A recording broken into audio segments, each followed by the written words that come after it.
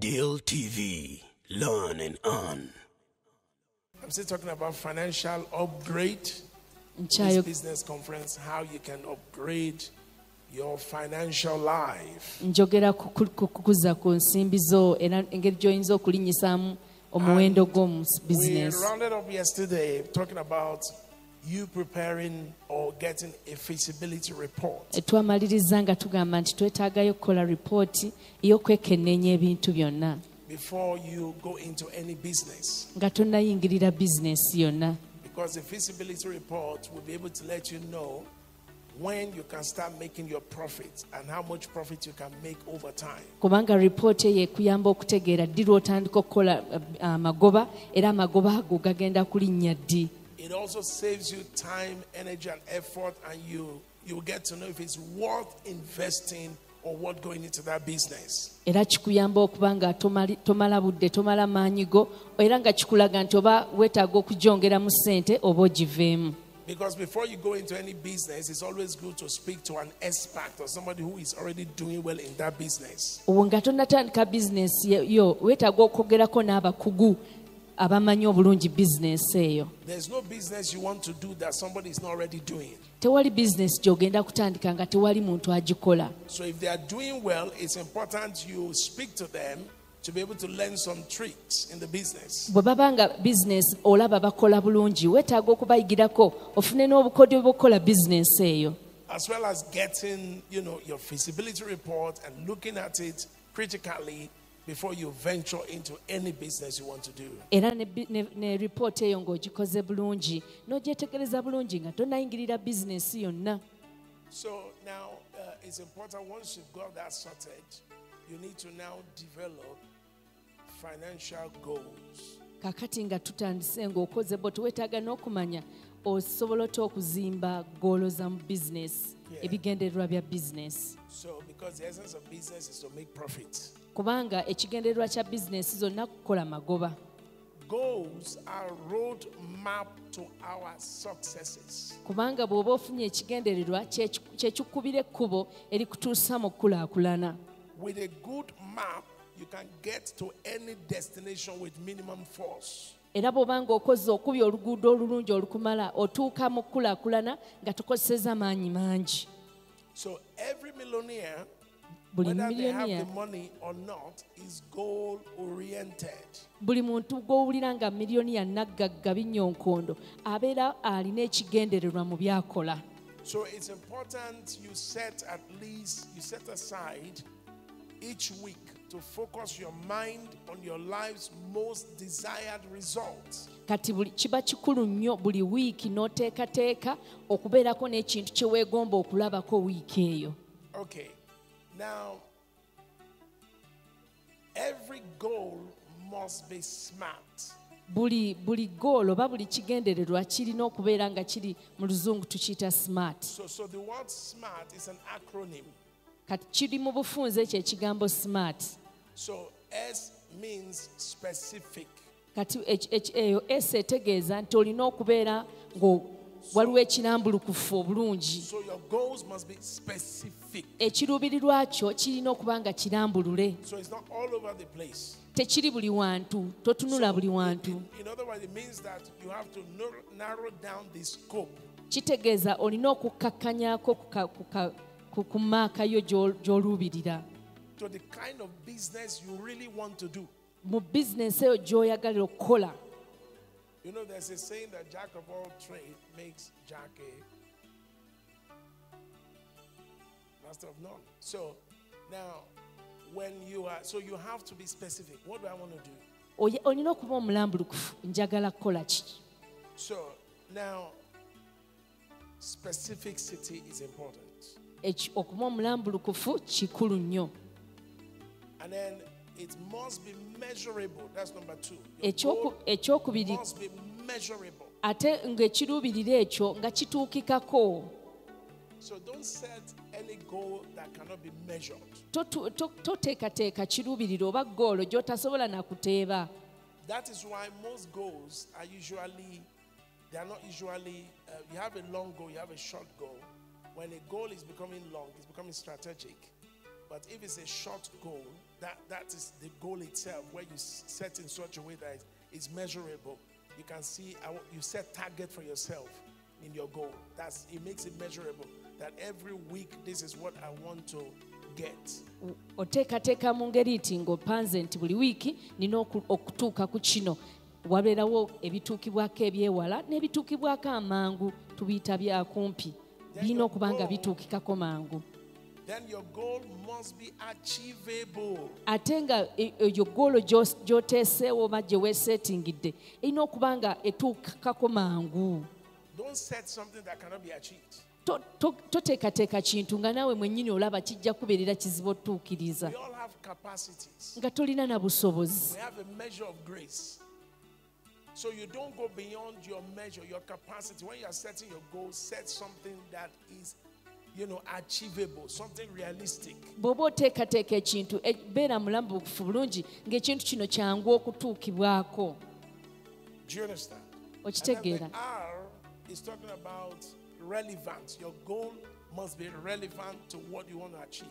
era waliwo leeta eya r agambye nti ek- ekintu ekyo kirina okuba nga kikulu kyetaagibwa And it must be time bound. Time bound. Time. Ate buli goolo zaffe ze tutegeka zirina okubaako obudde obupime So now I want you to bring out your notes njagala owandiike mu notisi zo and make out five column headings. Five column headings. sazaamu emirundi etaano bw'oti ng'osazaamu bye tugenda okwogerako So, in your five column headings, you ng'okubyemu bokisi butaano for the next five years. That's the first column. ogenda kuwandiikamu nti ngenda kutuuka ku goolo ki mu myaka etaano egiddako kiruubirirwa ki kye nnina Second column akabokisi akaddwako akalala goals for the coming year. teekamu nti kati ebiruubirirwa byange omwaka ogujja oba goolo zange omwaka ogujja On the third column, ku kabokisi akookusatu ogambe nti nina waliwo goolo ze njagala okuteeba mu, myezi esatu egijja On the fourth one, ate akookuna akabokisi you have goals for the coming month.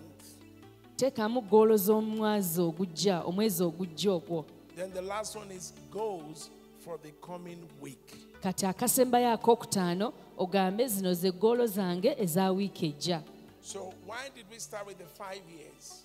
Kiki ky'olu- ky'oluubiridde ky'otu- ky'otunuulidde mu myaka etaano Because you must start from maybe the end and then start working it back. katutandikire eri gye kikoma tujje nga tukkirira wano wansi So, if let me let's make an example now. Can I katuleete ekyokulabirako kambeeko gwe nkozesa ng'ekyokulabirako wooli Who, who wants to volunteer? ani agala okumugezesezaako Who wants to volunteer for us? ayani is behind Okay, right. So, can you tell me what is your five-year plan? What, where do you see yourself in the next five years? weerabawa mu myaka etaano okuva leero semberako obeena okumpi So the same thing. Write down on your column naawe bwennyini where you see yourself Wa- in the next five. Wa gye weeraba mu myaka etaano egijja ye you say goolo in the yo. um,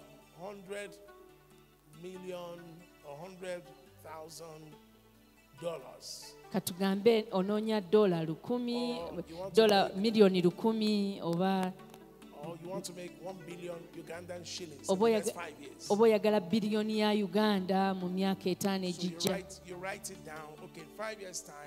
I want to have one billion Ugandan shillings. wandiikaawo eri mu kabokisi kaffe akasooso gambe mu myaka gyange etaano egijja njagala biliyoni akawumbi ka sente years?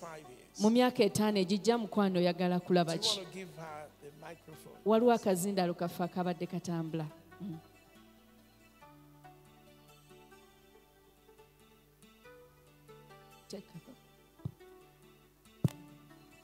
Mu myaka etaano egiddako in the next five years njagala mbeere nga maze okufuuka omugagga i want to be already rich nga engeri gye njagala okukikolamu the way i want to do it pulaani zange my plan njagala ntandike okuba nga nnyongera ku savings zange I want my savings to increase. Eh, savings zange bwe zinagenda zeeyongerako To which level? Zikumawa. Njagala kati bwe mba nga mbadde nga nsevinga omwezi nga nsobola okusevinga emitwalo etaano If, if every month I've been saving 50,000 shillings, mba njagala nnyongereko nsobole okuba nga nsobola okusevinga emitwalo kumi oba emitwalo kumi n'etaano I want to be saving at least 100 or 150,000 shillings. zijja genda nga zeekubisaamu It will be multiplying. Just hold on a bit. Now, using the word rich is relative. So, what do you want to have in five years' time? agambye lambulula bulungi kiki ky'owulira nga kirina okukubeeramu mu myaka etaano nga kiri awo nga wakituukako dda mu myaka etaano mu myaka egyo we ginaaweerera Specific, specific. Goals must be specific. One word. What do you want to do in five years' time? goolo bw'oba ogiteekateeka erina okuba nambulukufu nga esimbye ensimbalaala bweti bw'oba a katugeze oyagala beera bizinesi njagala mbeere nga nfunye oba nga mbadde waali teyiro nina kati holoseero bwe kityo.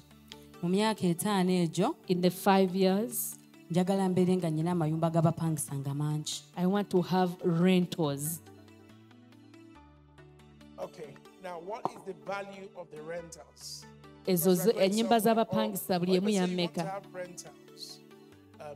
what kind of rentals do you want to have? nga zifaanana zitya kiyu kimu single full contained ennyumba ze njagala the houses i want mba njagala nga ntuuse ku levo ey'okuba nga nnyina ennyumba nga mpangisa nga za maka i want to be renting mansions Okay. Now, that's in five years' In five gyegyo mu years. myaka etaano That's- so, is that goal is it measurable? Yes. Ask her, is it- is it measurable? akubuuza nti eyo goolo eyo olaba nga esoboka bw'ogipimapimamu esobola ah, Okay. Ejja Answer. kusoboka. Yes or no? Is it measurable? I Esoboka. believe Okay. No, not believe. Is it?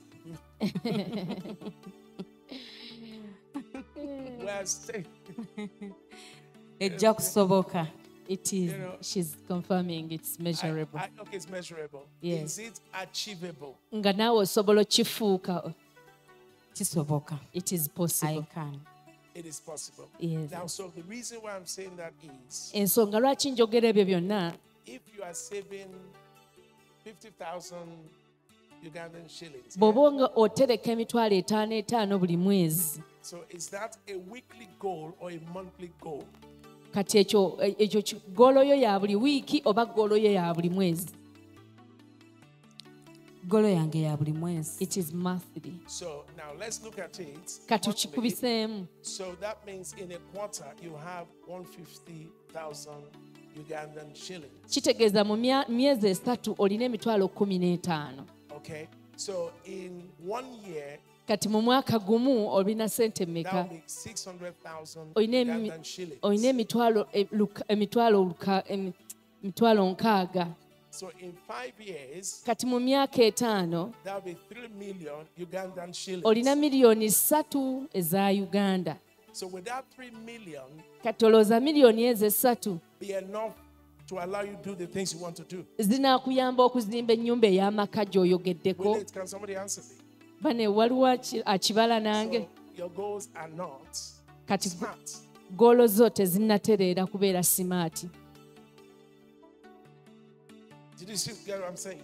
okitegedde So- so I kyenjogerako know you're a child of God. God can bless you. God can help you. But goal must be measurable, realistic. eggoolo zo zirina okuba nga ddala za mazima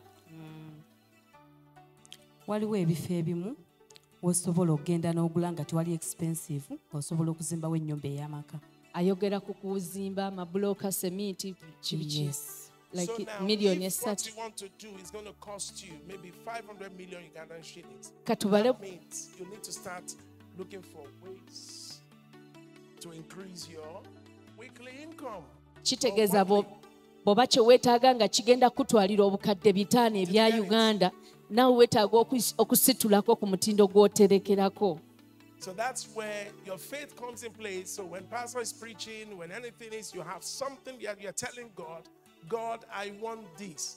God, I want this. Are you getting my point? So and you are working hard, you work on your expenses, reduce your expenses because you have something you want to achieve. awo nno okukkiriza kwe we kuyingiriramu ng'ogamba mukama kino kye neetaaga bw'osala ku nsaasaanyaayo bw'ogamba mukama kino kye njagala okulaba mu bulamu bwange So if you don't set a realistic goal, bw'otateekateeka goolo nga za ddala nga ntuufu tojja kubaako kyofuuka So what you can do is you can look for a business kati kyosobola okukola kwe kunoonyayo bizinesi that is within the range of 3 million Ugandan shillings. eziri awo ezisobola okuso- okusobola obukadde busatu ezisobola okugyamu And say in, in five years' time, I will be able to do this kind of a business. n'ogamba mu myaka etaano nja kuba nsobola okukola bizinesi eyenkana then when bweti you start that business, you now set another five-year goal. bw'omala bizinesi eyo olwoka on oteeketeeka can- ez'emyaka etaano you can push that 3 million maybe to become 30 million.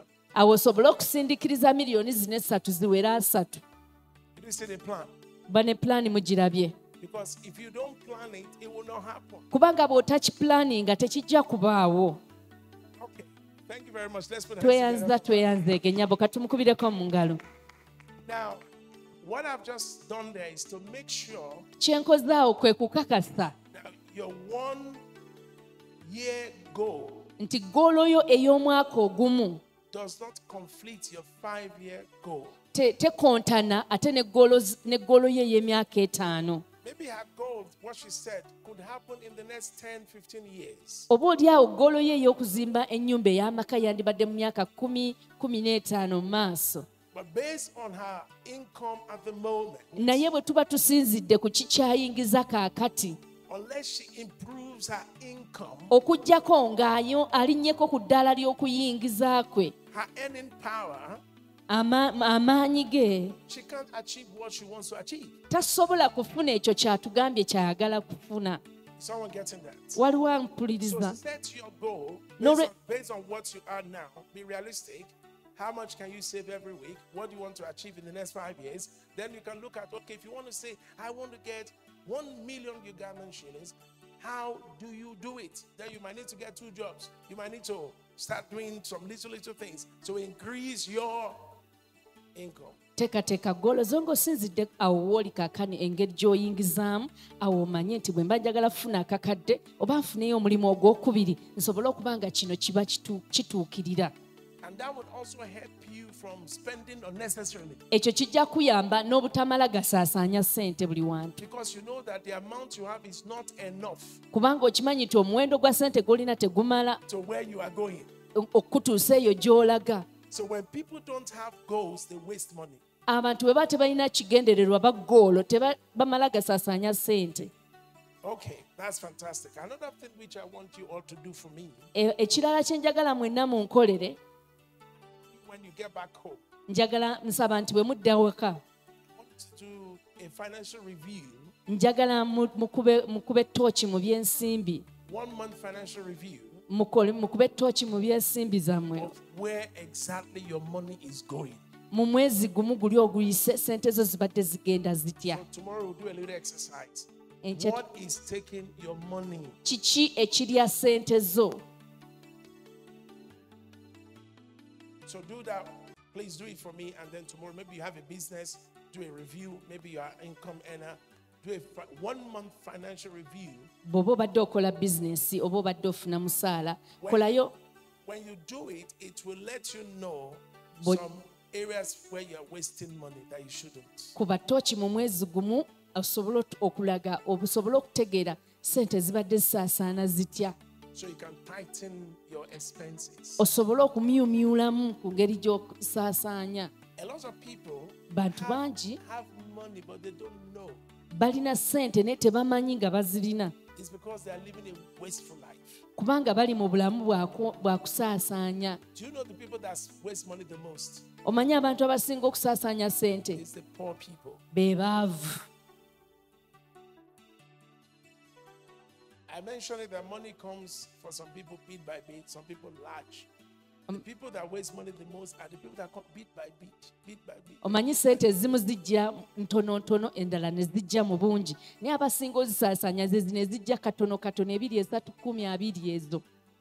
So in setting up your goals, your, ng'oteekateeka goolo zo. Your one year goal should not exceed your five years goal. kati eggoolo ye ey'omwaka ogumu terina kusukkuluma nnyo ku ggoolo ye ey'emyaka etaano kirina kuba nga kisituka busitusi ng'ennyonyi bwe kiti. Waliwo akifuna. Now, please make sure you separate your short term goals. Kakasa nga oyawula ggoolo zo ennyimpimpi ezituukibwako amangu. From your long term goals. ku ezo ezigenda okujja mu biseera eby'amaaso eyo.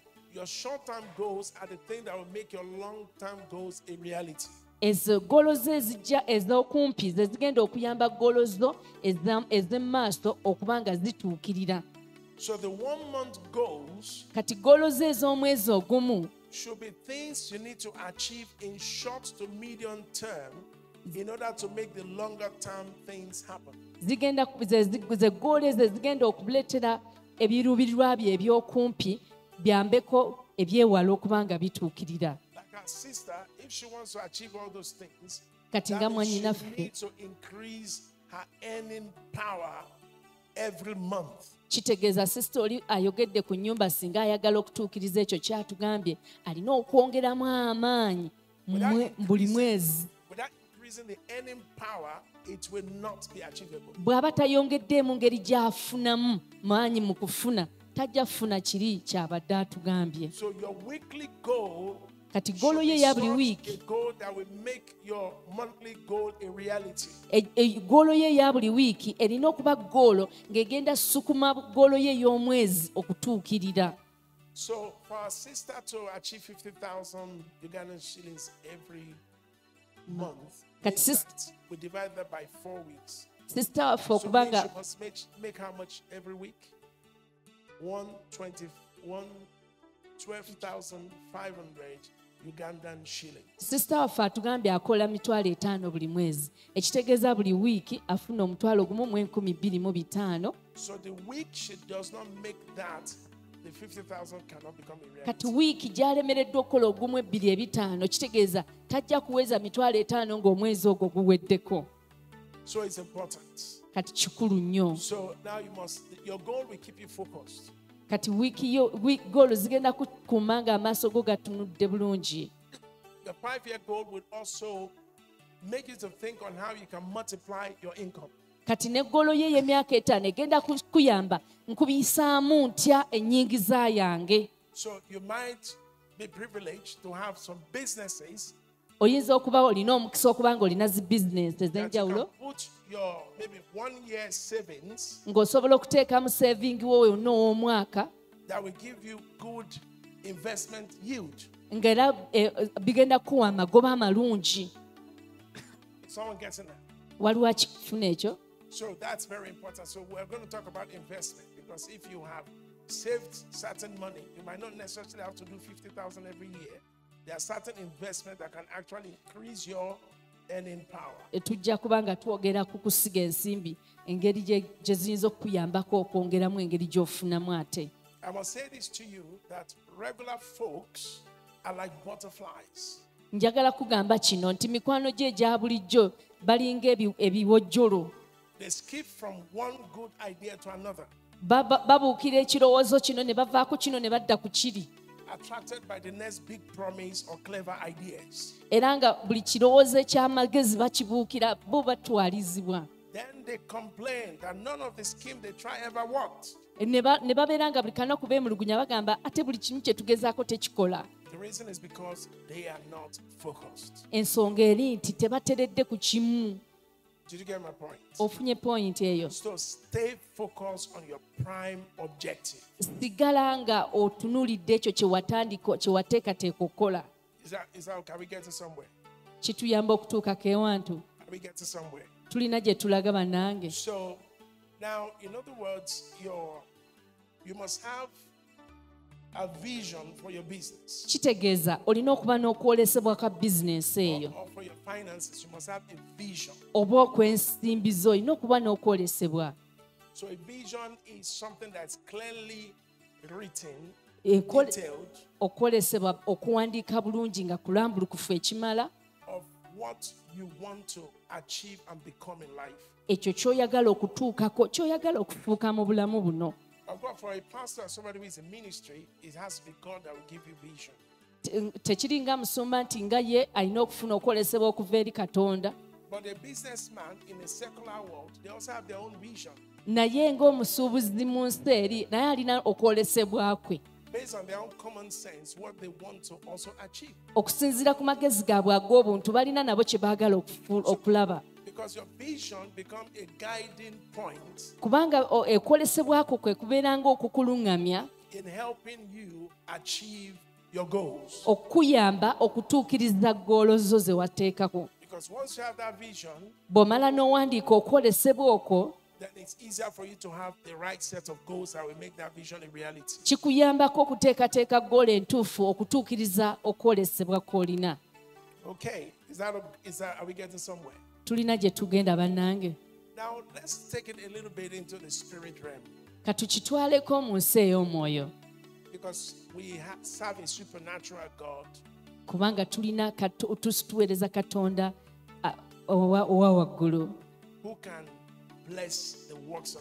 Asobola okuwa omukisa by'okola n'emikono gyo The physical realm is being governed by the spirit realm. ensi eya- ey'ensi eyo- eya buliwo efugibwa ensi ey'omwoyo So to prosper in the earthly realm, kati okubeera ng'okulaakulanira mu nsi eyo eno the gateways must open. ne- ne- ne- n'enzigi en- n'ebituli by'eggulu birina okuba nga biggule Because if the gateways are not open in the spirit realm, kubanga ebituli by'eggulu bwe biba si biggule all the things you want to do on earth will not work. Even though you have the money, will just waste. buli ky'oyagala okukola tekijja kuyitamu kigenda kufa Is someone listening to me? waliwo ampuliriza So, if you, some of you would have read the book of Psalms 24, mmanyi ng'abasinga mwali musomye ku zabbuli ennya when- from verse 7, when Jesus was saying, Lift up your heads, O ye gates, nga mukama agamba nti yimusa emikono gy'omwe enzigi. And be lifted up, ye everlasting doors, era yimusibwa ggwe enzigi ez'emirembe n'emirembe. Kabaka ow'ekitiibwa ayingire. Waliwo enzigi Era yesu n'agamba nti ndizimba ekkanisa yange n'enzigi ez'emagombe tezijja giyinza. Are enzigi maanyi are myoyo. egifuga abantu.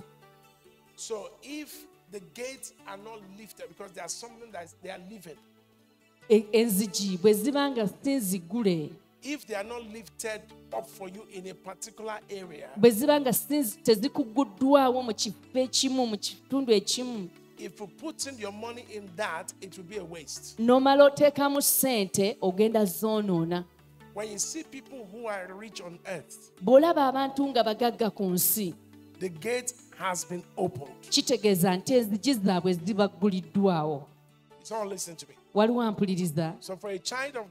Kati ng'omwana wa katonda yesu yatuggulira dda enzigi. We just need to affirm with our faith, with our confession, kati tulina okikakasa n'okukkiriza kwaffe n'okwatula kwaffe to walk through those gates. okuyingira enzigi ezo. Ontegeera bulungi It is because of this. That's why the sinners, unbelievers will go to a native doctor and go and get powers because they want to have money. yensonga lwaki abatali balokole bo bagenda eri abasamize ne bafuna s- amaanyi kuba baagala ssente Because money is like a current.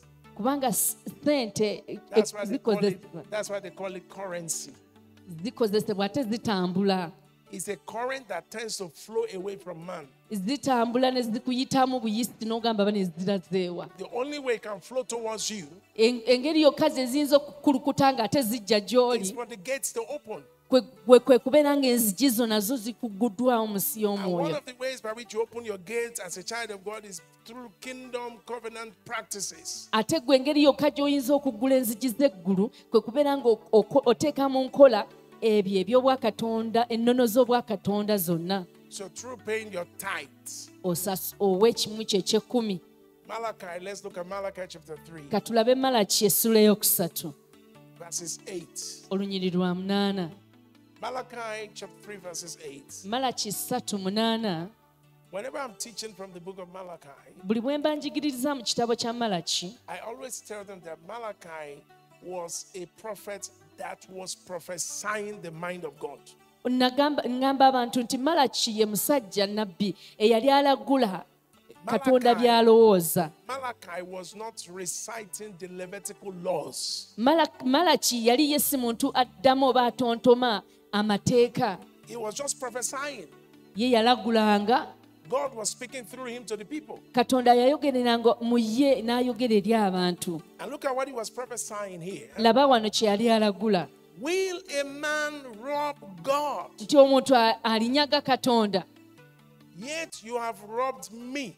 naye mmwe munyaze nze What you say, in what way have we robbed you? naye mwogera nti tukunyaga tutya In tithes and.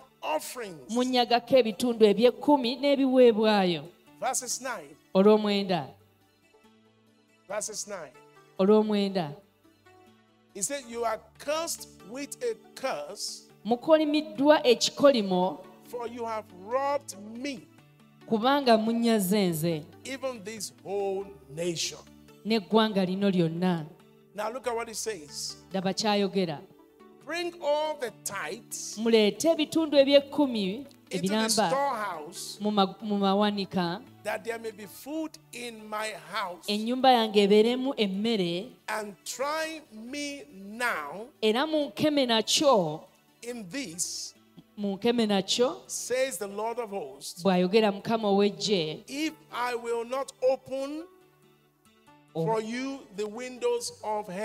obanga siribaggulirawo ebituli eby'omu ggulu So, which means there are windows as well. kitegeeza waliwo n'ebituli enzigi n'ebituli. oba amadirisa. amadirisa go g'eggulu galiggula offering. galiggalwawo singa tosasula kimu kya kumi na kiweebwayo So, if I will not open the bwe baba windows, ama- amadirisa g'eggulu bwe gataggulawo oba ebituli by'eggulu ng'oluganda bwe lugamba lwaki katonda alina okuggulira ebituli by'eggulu Why should God open it? lwaki abikuggulira If all you are thinking is just about yourself, nga buli kimu ky'olowooza weerowoozaako wekka you are not a kingdom distributor. gwe togabirira bwakabaka You're just thinking about yourself, thinking about yourself. Weerowoozaako mekapu wo sente zo biki byo God makes you a millionaire. You're not thinking about the church. katonda ngo- ng'ogamba nzi nfuule omugagga naye nga tobiteeseemu katonda tomulowoozaako You're not thinking how to empower the church. tolowoozaako ngeri gy'oyinza kuwa maanyi kanisa Why should God open your windows? lwaki katonda alina okukuggulira amadirisa g'eggulu oba ebituli by'eggulu ng'oluganda bwe lwogera So he's saying, Bring in your tithe. Then I will do what?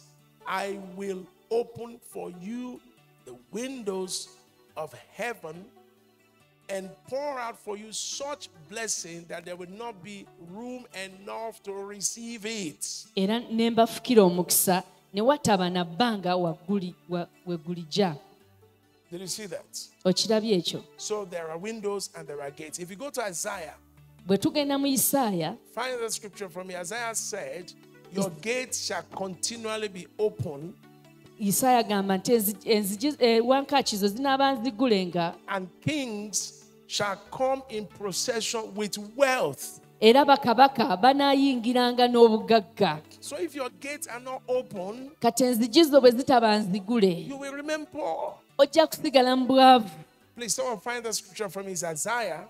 Is it Isaiah chapter 60 or Isaiah chapter? Find it for me. Where it says, The wealth of the Gentiles will come to you. ekyawandiikibwa ekyo ekigamba nti obugagga bw'abannamawanga bulijja gy'oli Find it for me. Find it for me. Now, still here, while you're looking for it, ng'okyakinoonya wano we tubadde. Now, verses 11. Go to verse 11. of this gendako ku lunnyo lw'ekkumi n'olumu nga bw'onoonya isaaya Verse 11. olunnyo lw'ekkumi n'olumu. Verse 11 of this Malachi chapter 3. Malachi chapter 3. verse malakayi 11. essula essula eri gye tubadde Malachi chapter 3, verse 11. malakayi 3:11 Look at what he says. And I will rebuild era agamba nti ndinenya omuli So your giving kati okuwaayo kwo will make God kugenda okuleetera katonda okuyingira mu sake. era ne ku lulwo agenda kunenya omuli Do you know something about devourer? This is where a lot of people get it wrong. Devourer does not announce when it is coming. nkubulira ekikwata ku muli talanga ng'ajja was speaking to a Christian. He said, I don't believe in tithing. waliwo gwe nali njogera naye nga mulokole nga gabasikiririza mu byakuwaayo ebyo. era bwe omuli bw'amala najja ŋŋenda omumuboggolera nze.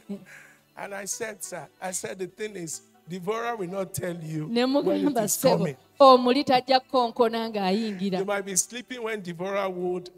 Oyinza okuba weebase ye n'ayingira. So the only person who can rebuke the devourer is who? God. asobola yekka okunenya omuli bamuyita katonda That's why I said, I will rebuke the devourer. yensonga lwaki agamba nti naanenya omuli And they shall not be shut. Look at what it says here. Look at what it says. So you laba isaaya ey'enkaaga kyayogera chapter 60, verse 11. isaaya nkaaga olw'ekkumi n'olumu lulwo Therefore, your gates shall be open continually. agambye nti n'enzigi zo zinaaba nzigule bulijjo Let me tell you, some people, their gates open and it closes.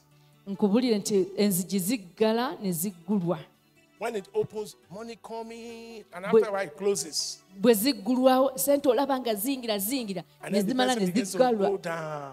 n'owulira ng'okka And then begin, he begins to struggle. n'otandika oku- okufuba Maybe because the person has started breaking some covenant practices. oba oliawo waliwo em- ate ennono zota zoddiridde okukola How many of you know some people who were rich, but all of a sudden they are no more rich?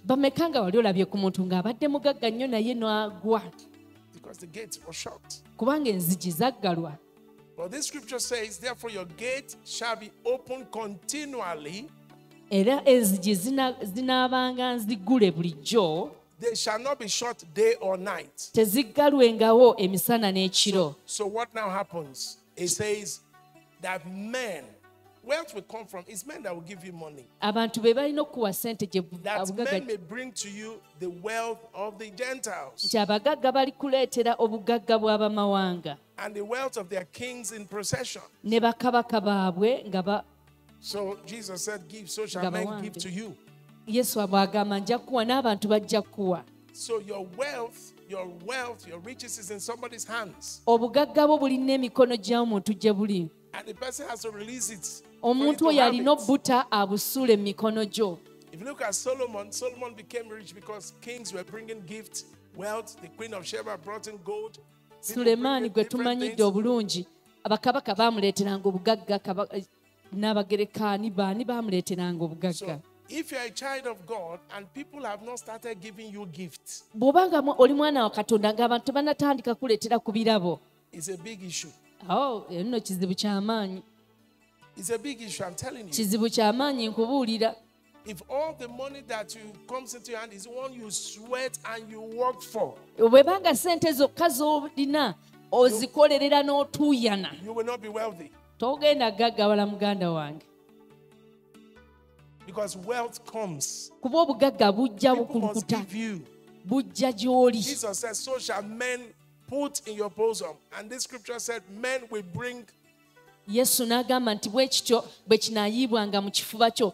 Olunyiri lutugambye nti banaaleeta ne bakabaka nga bawambe. Naye enzigi zirina kuba nzigule kikulu nnyo ekyo. So many people, their gates are shut. bangi enzigi nzigale. Tomorrow, as we're climaxing this, I'm going to pray for quite a lot of you. nge enkya tumaliriza ngenda kusabira ku bantu abasinga wano. Those of you that believe your gates will open.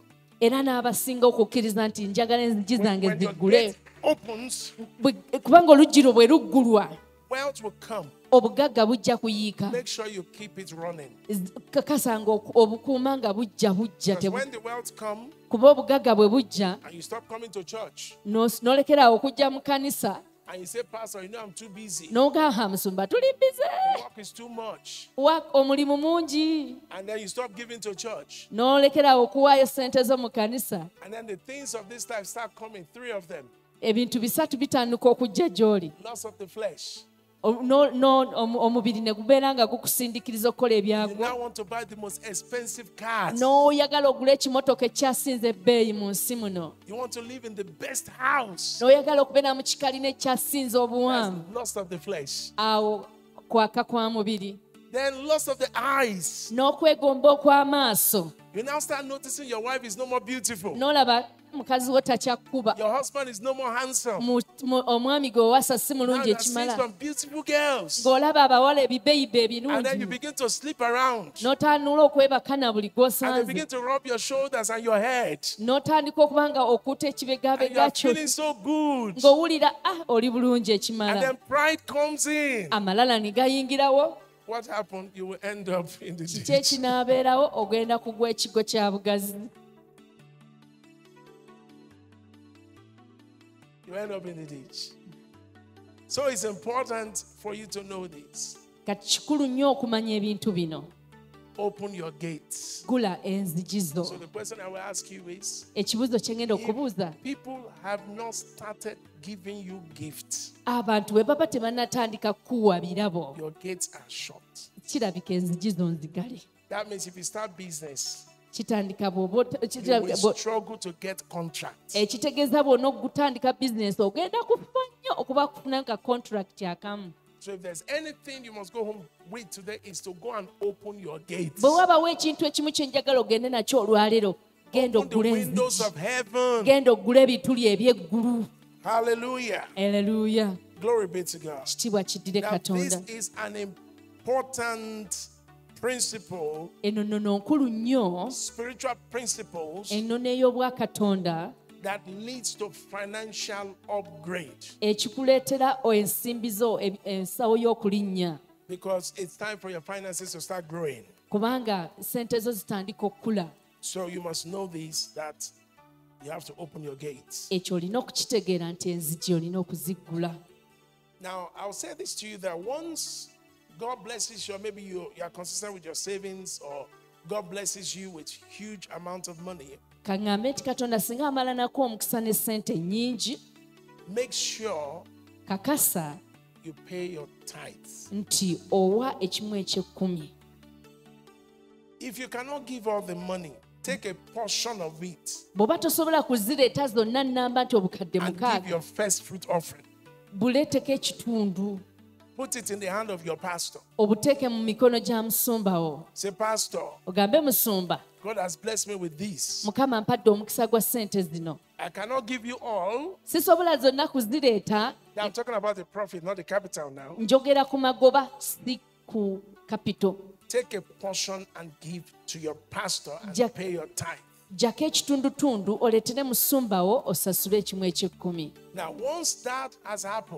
ekyo bwe kimala ne kibaawo you can now go into investments. awo oyinza okuyingira mu kusiga The essence of investment is profit making. Eki- ekikulu ky'okusiga sente kuggyamu magoba In you making an investment, you must understand that there are two types of investment. Bw'oba onookola okusiga esente basiga mu mirundi ebiri There's downward investment okusiga and there's upward investment. osobola okusiga mu buliwo oba So, what is a downward investment? ka tubitegeere bulungi ebibiri ebyo Anything you put your money into that depreciates with time. ekintu ky'oteekamu sente naye nga kigenda kuggwerera mu budde obutali bwawala For example, if you buy a car, a brand new car, katugeze oguze emmotoka mpya the moment you drive that car out of the store, bw'omala n'ogivuga n'efuluma the value of the car has dropped by 50%. emmotoka eba tekyatunda miliyoni ziri gy'oziguze So if you want to sell the car back, bw'oba oyagala oddemu otunda emmotoka eyo yennyini you can never gy'ofulumiza get the amount that you bought it. tosobola gifuna ku muwendo gwogumu gw'ogiguliddeko So buying a car Ka- is a downward investment. kati okugula emmotoka obeera ng'asize sente ezigenda okuggwawo amangu enkeera So which means ekitegeeza if you don't have a lot of money, bw'oba tolina sente zimala don't buy a brand new car. togula mmotoka mpya Buy a car that has been fairly used, gulayo emmotoka ng'ekozeseddwako such that when you buy it and you want to sell it, it will, the difference will not be much. nti nti bw'onooba oyagala okuddamu ogitunda tezijja kusala nnyo So there are so many other downward investment out there that people put their money into. waliwo ebintu ebirala bingi abantu bye basaamu ssente naye ng'omuwendo gwabyo gujja kugwa kasita omala okifulumya sitoowa So be very careful n'olwekyo that beera mwegendereza you are not putting your investment in something that will go down. tototeeka nsimbi zo mu kintu ekigenda okuggwa amangu So the second kind of investment is the upward investment. kati ens- ensimbi era tusobola ozisiga mu bintu nga byo bigenda omuwendo mangu This is anything you invest on that appreciates with time. Ekyo ekintu ky'oteekamu ssente nga mu budde butono nnyo kigenda tandika okuba nga amagoba galinnya For example, if you buy a plot of land, katugeze oguze ettaka it will appreciate with time. Era obudde bujja kuyita olitunde ku ssente ezisinga ze wazi- If you buy wagulirako properties, bw'ogula ennyumba era obudde bujja kuyitawo ng'omuwendo gwa nnyumba gulinnye So you have to carefully make sure olina okubeera ng'oli mwegendereza ng'oli okaka that you don't put your investment in something that will not yield profit for you. nti toteeka ssente zo mu kintu kitagenda kuzza magoba gy'oli Yeah, so we'll be talking about other kinds of investment maybe tomorrow. tujja kweyongera okwogera mu kusiga ensimbi enkya Glory be to God. ekitiibwa kiddire katonda waffe God is the one who lifts people up. katonda yayimusa abantu Many are the plans in the heart of a man, Um, um, epulaani z'aba- nya- z'omuntu ziba nnyingi mu but it is mutima the gwe counsel of the Lord that comes to pass. naye okuteesa kwa katonda kwe So, so that is why you pray through. Yensonga lwaki olina okusaba kuva lw'otandise paka You, you pray through before you go into any investment. olina okusaba nga tonnayingirira kusiga ssente kwonna A man of God was telling me several years ago before the last recession that took place. omusajja katonda yali ayogera nange ekiri nga ekya- ekyabaddewo tekinabaawo He had a lot of shares in the various companies. yalina shares mu kampuni ez'enjawulo And God told him, Go and sell all your shares katonda n'amugamba genda otunde shares zo zonna gye ziri and put your money into properties. oteeke ssente zo mu bizimbe And he called his stockbroker. Stockbroker. I don't know what it is in Uganda. Stockbroker. Na- a- no- ofuuke bulooka Thank you. N'akubirako babulooka That's bano abayambako okutuguza amayumba n'ogatunda So the man sold everything and gave him the money bw'atyo omusajja shares ze n'azitunda n'aziteeka mu mayumba and he put it into properties. n'agulayo amayumba amatonotono Not up to six months. emyezi mukaaga tegyayitawo The stock market crashed. akatale ne kagwa People lost money. abantu ne bafiirwa ssente Companies closed down. Kampuni ne ziggala But God saved him because he had a relationship with God. ne katonda yamuyamba kuba yalina enkolagana ne katonda So in your journey, you must always listen to the voice of God kati mu lugendo lwo olw'obugagga olina okuwuliriza nnyo eddoboozi lya katonda so that he can lead you to the right kind of investment.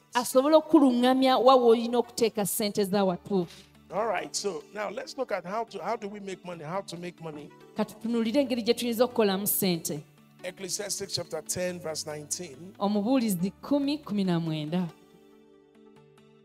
It says, A feast is made for laughter, embaga and wine makes merry, embaga but bigifumbirwa money answers everything. embaga bagifumbira kuleeta nseko n'omwenge kusanyusa obulamu n'effeeza eya- eyanukula byonna naye effeeza eyanukula byonna It says, Money answers everything. sente ze ziddamu eri buli kintu Money is important, sente nz- nkulu nnyo but don't love money. naye toyagala sente Love people. yagala bantu Use money. kozesa sente Don't love money. Toyagala sente The love of money is the root of all evil. okwagala sente kwe kuvaamu buli kibi The lack of money brings a lot of problems. bw'oba tolina sente ofuna ebizibu bingi It brings disgrace and shame. kuleeta okuswala n'oku- n'okuba nga tolina kitiibwa mu bantu it makes things hard to be done. kireetera ebintu okukaluba nga olina obikola You can have brilliant ideas. If you don't have money, it cannot happen. oyinza okuba n'ebirowoozo ebirungi ennyo naye bw'oba tolina ssente tewali kisobola kgenda maaso That is why everyone must believe that they must make money. y'ensonga lwaki buli muntu alina okukkiriza nti alina okukola ssente If you look at the parables of Jesus Christ, bw'otunuulira engero za yesu kristo he spoke a lot about money more than any other topic. yayogera nnyo ku ssente n'okusunga emiramu emirala All his parables, most of them were about money, money, money, money. zonna engero ze zaali zeetoolera ku ssente Because what we do on earth, Kubanga apart buli from kye tu- serving God, buli kye is, tukola ku nsi is how to make money. Buli kye tukola ku nsi mu kuweereza katonda kirimu ssente. Bw'omala okuweereza katonda olina okuyiga engeri gy'okukolamu ssente ate That's why you go to school. yensonga lwaki ogenda ku ssomero That's why osome you're running up and down. yensonga lwaki oyambuka nga Because you bw'okkirira want money. olwokuba oyagala ssente So you trade your time for money. kati obudde bwe obuwaayo ku lw'essente You trade your talent for money. owaayo taalenti yo ku lwa ssente Money is very important. ssente nno nkulu nnyo bannaaye If you have children, you need money to take care of them. bw'oba olina abaana weetaagayo ssente okubalabirira You need money to buy food. weetaaga ssente ogula emmere You need money to enter transport. weetaaga ssente okuba nga olina otambula ogenda ewantu n'olwekyo ssente enkulu. You olina okuba nazo. Look at your neighbor, say, neighbor, tunulira munana omugambe you muneiba must have money. olina okuba ne ssente But it's important for you to know this that your attitude to money olina omanya kino nti omutima gw'oku ssente says a lot about your spiritual life. nkulu nnyo omutima gwo mukulu nnyo kye gwogera ku ku bulamu Your obw'omwoyo attitude to money E, omutima gw'olina ku ssente says a lot about your spiritual life. gwogera nnyo ku bulamu bwo obw'omwoyo There are some people, waliwo abantu they are acting so pious and holy, balaga wano nti batukuvu nnyo ba- mwoyo. Because they've not seen money. lwa nsonga nti tebannalaba ku ssente. When they see money, naye ne bamala balaba ku ssente. many people will change. bangi bajja kukyuka. People will fight their wives because of money, bantu bajja kukuba bakyala baabwe olwa fight their ssente siblings because of money, balwana ne baganda baabwe ku lwa ssente. Fight their pastors because of money. balwana n'abasumba baabwe lwa ssente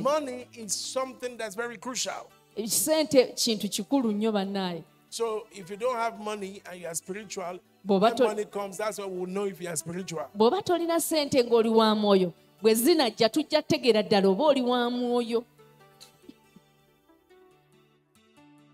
Praise God. mukama yeebazibwe So what is money? ssente kye ki Money is a medium of exchange. ssente kye kikozesebwa mu ku- mu kugula It allows people to obtain what they need to live.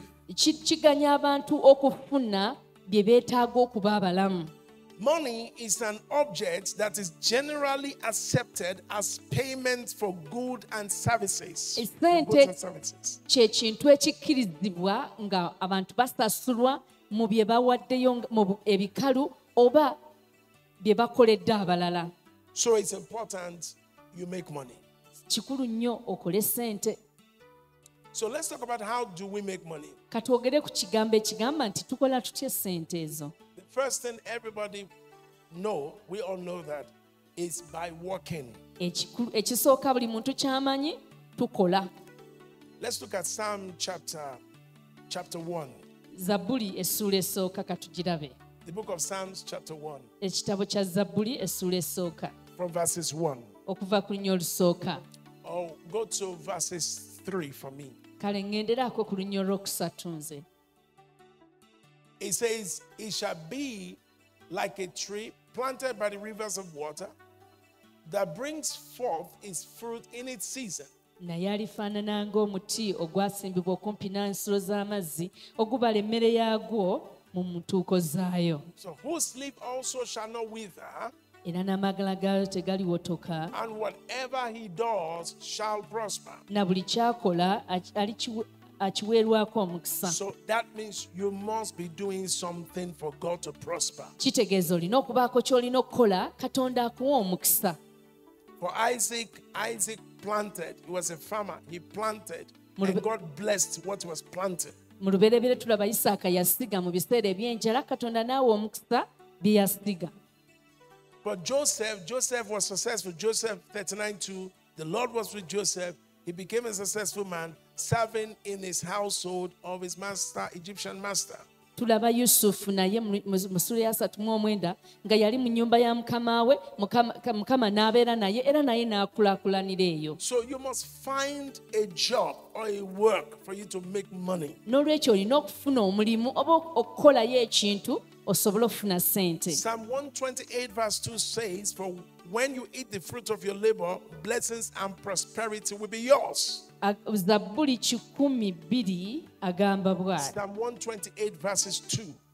zabbuli kikumi abiri mu munaana olwokubiri For when you eat the fruit of your labor, blessings and prosperity shall be yours. kubanga onoolyanga emirimu gy'emikono gyo oliba wa mukisa era oliraba ebirungi Now, please, it's important for you to know that working is a medium by which money flows. olina okukitegeera nti bw'okola bwotyo ssente bwe zikulukuta nga zijja gy'oli So, if God opened your gates katonda bw'amala n'akuggulira enzigi gives you a very good job, n'akuwa omulimu nga mulungi omulimu ogukusasula obulungi and the money start coming. ssente zitandika okujja So, the gate is open, kitegeeza enzigi the nzigule window is lifted. mukama akuwadde omukisa. So, money start coming.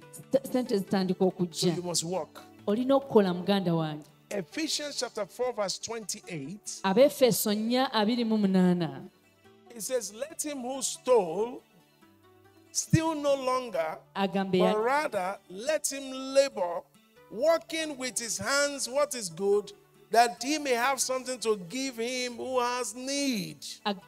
abefeso 28 gamba eyabbanga alemenga okubba nate naye waakiri afube ng'akola ebirungi n'emikono gye alyoke abeerenga n'ekyokuwa eyeetaaga So the Bible advises or the Bible instructs that we should work bayibuli etulagira nti tulina okukola so that you can have something to give. Osobole okuba- n'ekyo ky'ogaba. So you can have something to pay your tithe. osobole okuba n'ekyo ky'osobola okusas- okuwaayisaayo ekimu ekyekumi bayibuli etukubiriza okugaba n'okuwa ekimu ekyekumi bw'otandika okukola and you start making money, it is what you do with your money that will now determine the next level that you will have with that money. kakati ky'okola ne ssente zo kye kijja osalawo eddaala ly'ogendako Second Thessalonians chapter 3, verses 10. abesesalonika ekyokubiri essula 3 olunyi lwa 10 It says, Even while we were with you, we gave you this commandment those unwilling to work will not get to eat. taataakole n'okulya taalyenga Second Thessalonians 3:10. abasesalonika ekyokubiri 3 10 Those unwilling to work will not get to eat. nti aba- a- ataakole no- omuntu ataakole So, n'okulya so it's a taalyenga kati kiragiro nti tulina okukola. Kirabe. For olunyiriri olwo if anyone will not work, neither shall he eat. kubanga era bwe twali gye muli twabalagira bwe tutyo nti omuntu yenna bwa- bw'agaananga okukola emirimu n'okulya taalyenga It's a biblical command for you to work. kiragiro kya bayibuli eri ffe okukola Stop stealing, stop begging, go and find a work to do. lekeraawo okubba n'okusabiriza genda ozuleyo omulimu okole First Thessalonians chapter 4, verse 11. abasesalonika ekisooka sula ennyo olunyo lw'ekumi n'olumu First Thessalonians chapter 4, verse 11. abasesalonika ekisooka essula ennyo olunyo lw'ekumi n'olumu It says that you also aspire to lead a quiet life, era to mind your own business, and to work with your own hands as we commanded you. N'olumu agamba era mwegombe n'okukolanga ebyammwe mmwe Now, let me tell you something. At some point in the life of Paul, when he was called into ministry, he went back into tent building. Omanyi pawulo yatuuka mu bulamu bwe nga mukama amuyise n'addayo ku mulimu gwe ogw'okusiba weema He had to go and work so Yali- that he can raise money to fund the ministry. yalina okuddayo akole azule omulimu akole asobole okugabirira obuweereza bwe At some point in the life of Peter, when he was working with Jesus, after he has left the profession, and the government came and said, "Jesus, you are not paying your tax." What did nejja tell Peter? Is musolo Peter? Go back and fish. You will catch a fish with a golden coin. Mu kuvuba kogenda kusangamu ekyennyanja ekirimu ffe Sell the golden coin leeta koyini eyo eya zaabu and pay the tax. osasule omusolo Is someone listening to me? waliwo ampuliriza From there, I learned a lesson. awo nayigirawo akali You can never use God's money to pay tax. tosobola kukozesa sente za yesu It kusasula is wrong for you to use God's money to Ki- pay tax. Ki- ki- kibi nnyo okukozesa sente za katonda okusasula omusolo Jesus did not have money in the purse. sirowooza nti mu biseera bya yesu tebaalina sente wali But to pay tax, you work, pay the tax from your work. naye okusasula emisolo gyo You genda can't use okole church money to pay tax. tokozesa za kanisa genda kusasula musolo That's not what it is. kyekyo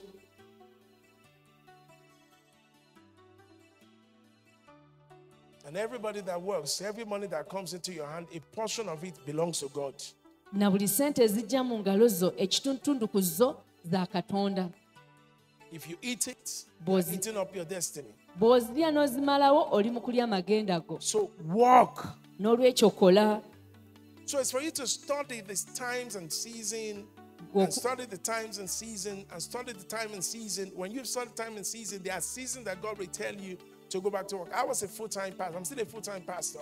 I was a full-time pastor in England for about 10 years. nali, ta- nali, nali pasita nga ta- talina kyakola kirala okumala emyaka kumi And then it got to a time, and God said to me, I need you to go into business. naye kyatuuka ekiseera katonda n'aŋŋamba nkwagala oddeyo mu bizinesi Because the next phase of your life, you're not going to depend on tithe and offering. You've Ku- got to do a business that will fund it. kubanga eddaala lyo ly'ogendako mu buweereza tewujja kwetaaga kubanga oli mu nsumba kyokka nojja kwetaaga ssente okuba nga olabirira obuweereza obwo.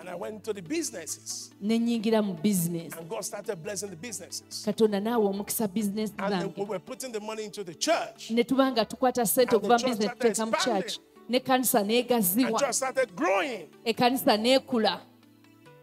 Is someone getting my point? waliwo afuna So you kyenjogera have to always listen to the voice of the Spirit. olina okuba ng'owuliriza nnyo bulijjo eddoboozi Many ly'omwoyo pastors are struggling today because they say, No, I'm a full time pastor. I'm still a full time pastor. I might not here in Uganda. basumba bangi bagamba nti nze ndi musumba siri ku- sirina kuva ku kigo naye noono naye musumba tava ku kigo kati business is still uganda naye nga bizinesi ate zigenda mu maaso eka Hallelujah. Hallelujah. Shout amen. yalekana nti amiina So it's important. It's an instruction that you walk. kati kiragiro nti tulina okukola So Proverbs 22 29. engero 22 Do you see any truly competent workers? They will serve kings rather than working for ordinary people. Hallelujah. Proverbs 22 29. You see a man who excels in his work. In other words, what he's saying is, you have got to be good at your job. ekitegeeza nti olina okuba omulungi ku mulimu gwo So you can say, okay, I've got a job, but you're not good at it. oyinza okugamba kale mukama mpadde omulimu naye toli mulungi ku gwo You're not improving yourself. gwe teweeyongerako You are putting pressure on your workers because you're not doing the job well. oteeka amaanyi go ku bakozi bo kubanga gwe tolina kyokola ki- ki- kiyitamu kituufu Putting pressure on your bosses oteeka puresa ku boosi wo because you don't have the competence. kubanga tolina kima- kimala kyekitwala And then the boss I'm going to sack you. boosi naye ng'agamba nze ngenda kugoba Then you come to the pastor. N'odduka n'ojja eri omusumba. Pastor, my boss want to sack me. Pray. nti musumba omuka- mukama wange ayagala kungoba nsaba kunsabira. Musumba obambi n'asaba n'asaba. naye olw'okuba nga teweeyongerako ku bukugu bwo. ng'omusajja naye awulira taaga bizinesi ye kugwa ajja kugoba It doesn't mean the pastor is not anointed. or tekitegeeza nti musumba taliiko mafuta It just means that you are not developing yourself. ekintu kiri nti gwe naawe toli mu kwekulaakulanya And God is a God of principle, is a God of judgment and justice. ate ye katonda asala omusango ogw'ensonga So it will be wicked on the part of God to keep you in that job when they know you are running the job down. Ki- kijja kuba kibi nnyo katonda okukuumira ku mulimu ogwo ng'ate oli mu gusuula bizinesi ya munno So you need to develop yourself. naawe weeteekemu weeku- ku- weegendako ku ddaala eddala mu byebyo Oh, by'omanyi.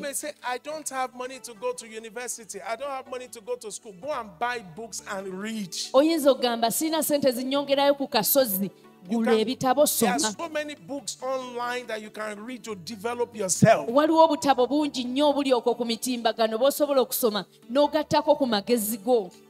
Some of the richest people in the world are not even graduates. abantu abakyasinza obugagga mu nsi muno tebalina na diguli Bill Gates was a dropout. Bill gates yalemwa essomero The n'avaamu. n'oyo yatandika facebook naye emisomo gyalema misomo gyalema naye akola biliyoni za sente But they were good at what they were doing. naye baali balungi nnyo mu ekyo kye baali bakola. When you are good at what you are doing, nobody will pay attention to your qualification. bw'oba mulungi nnyo mu ekyo ky'okola tewali agenda tunuulira na bitabo byo.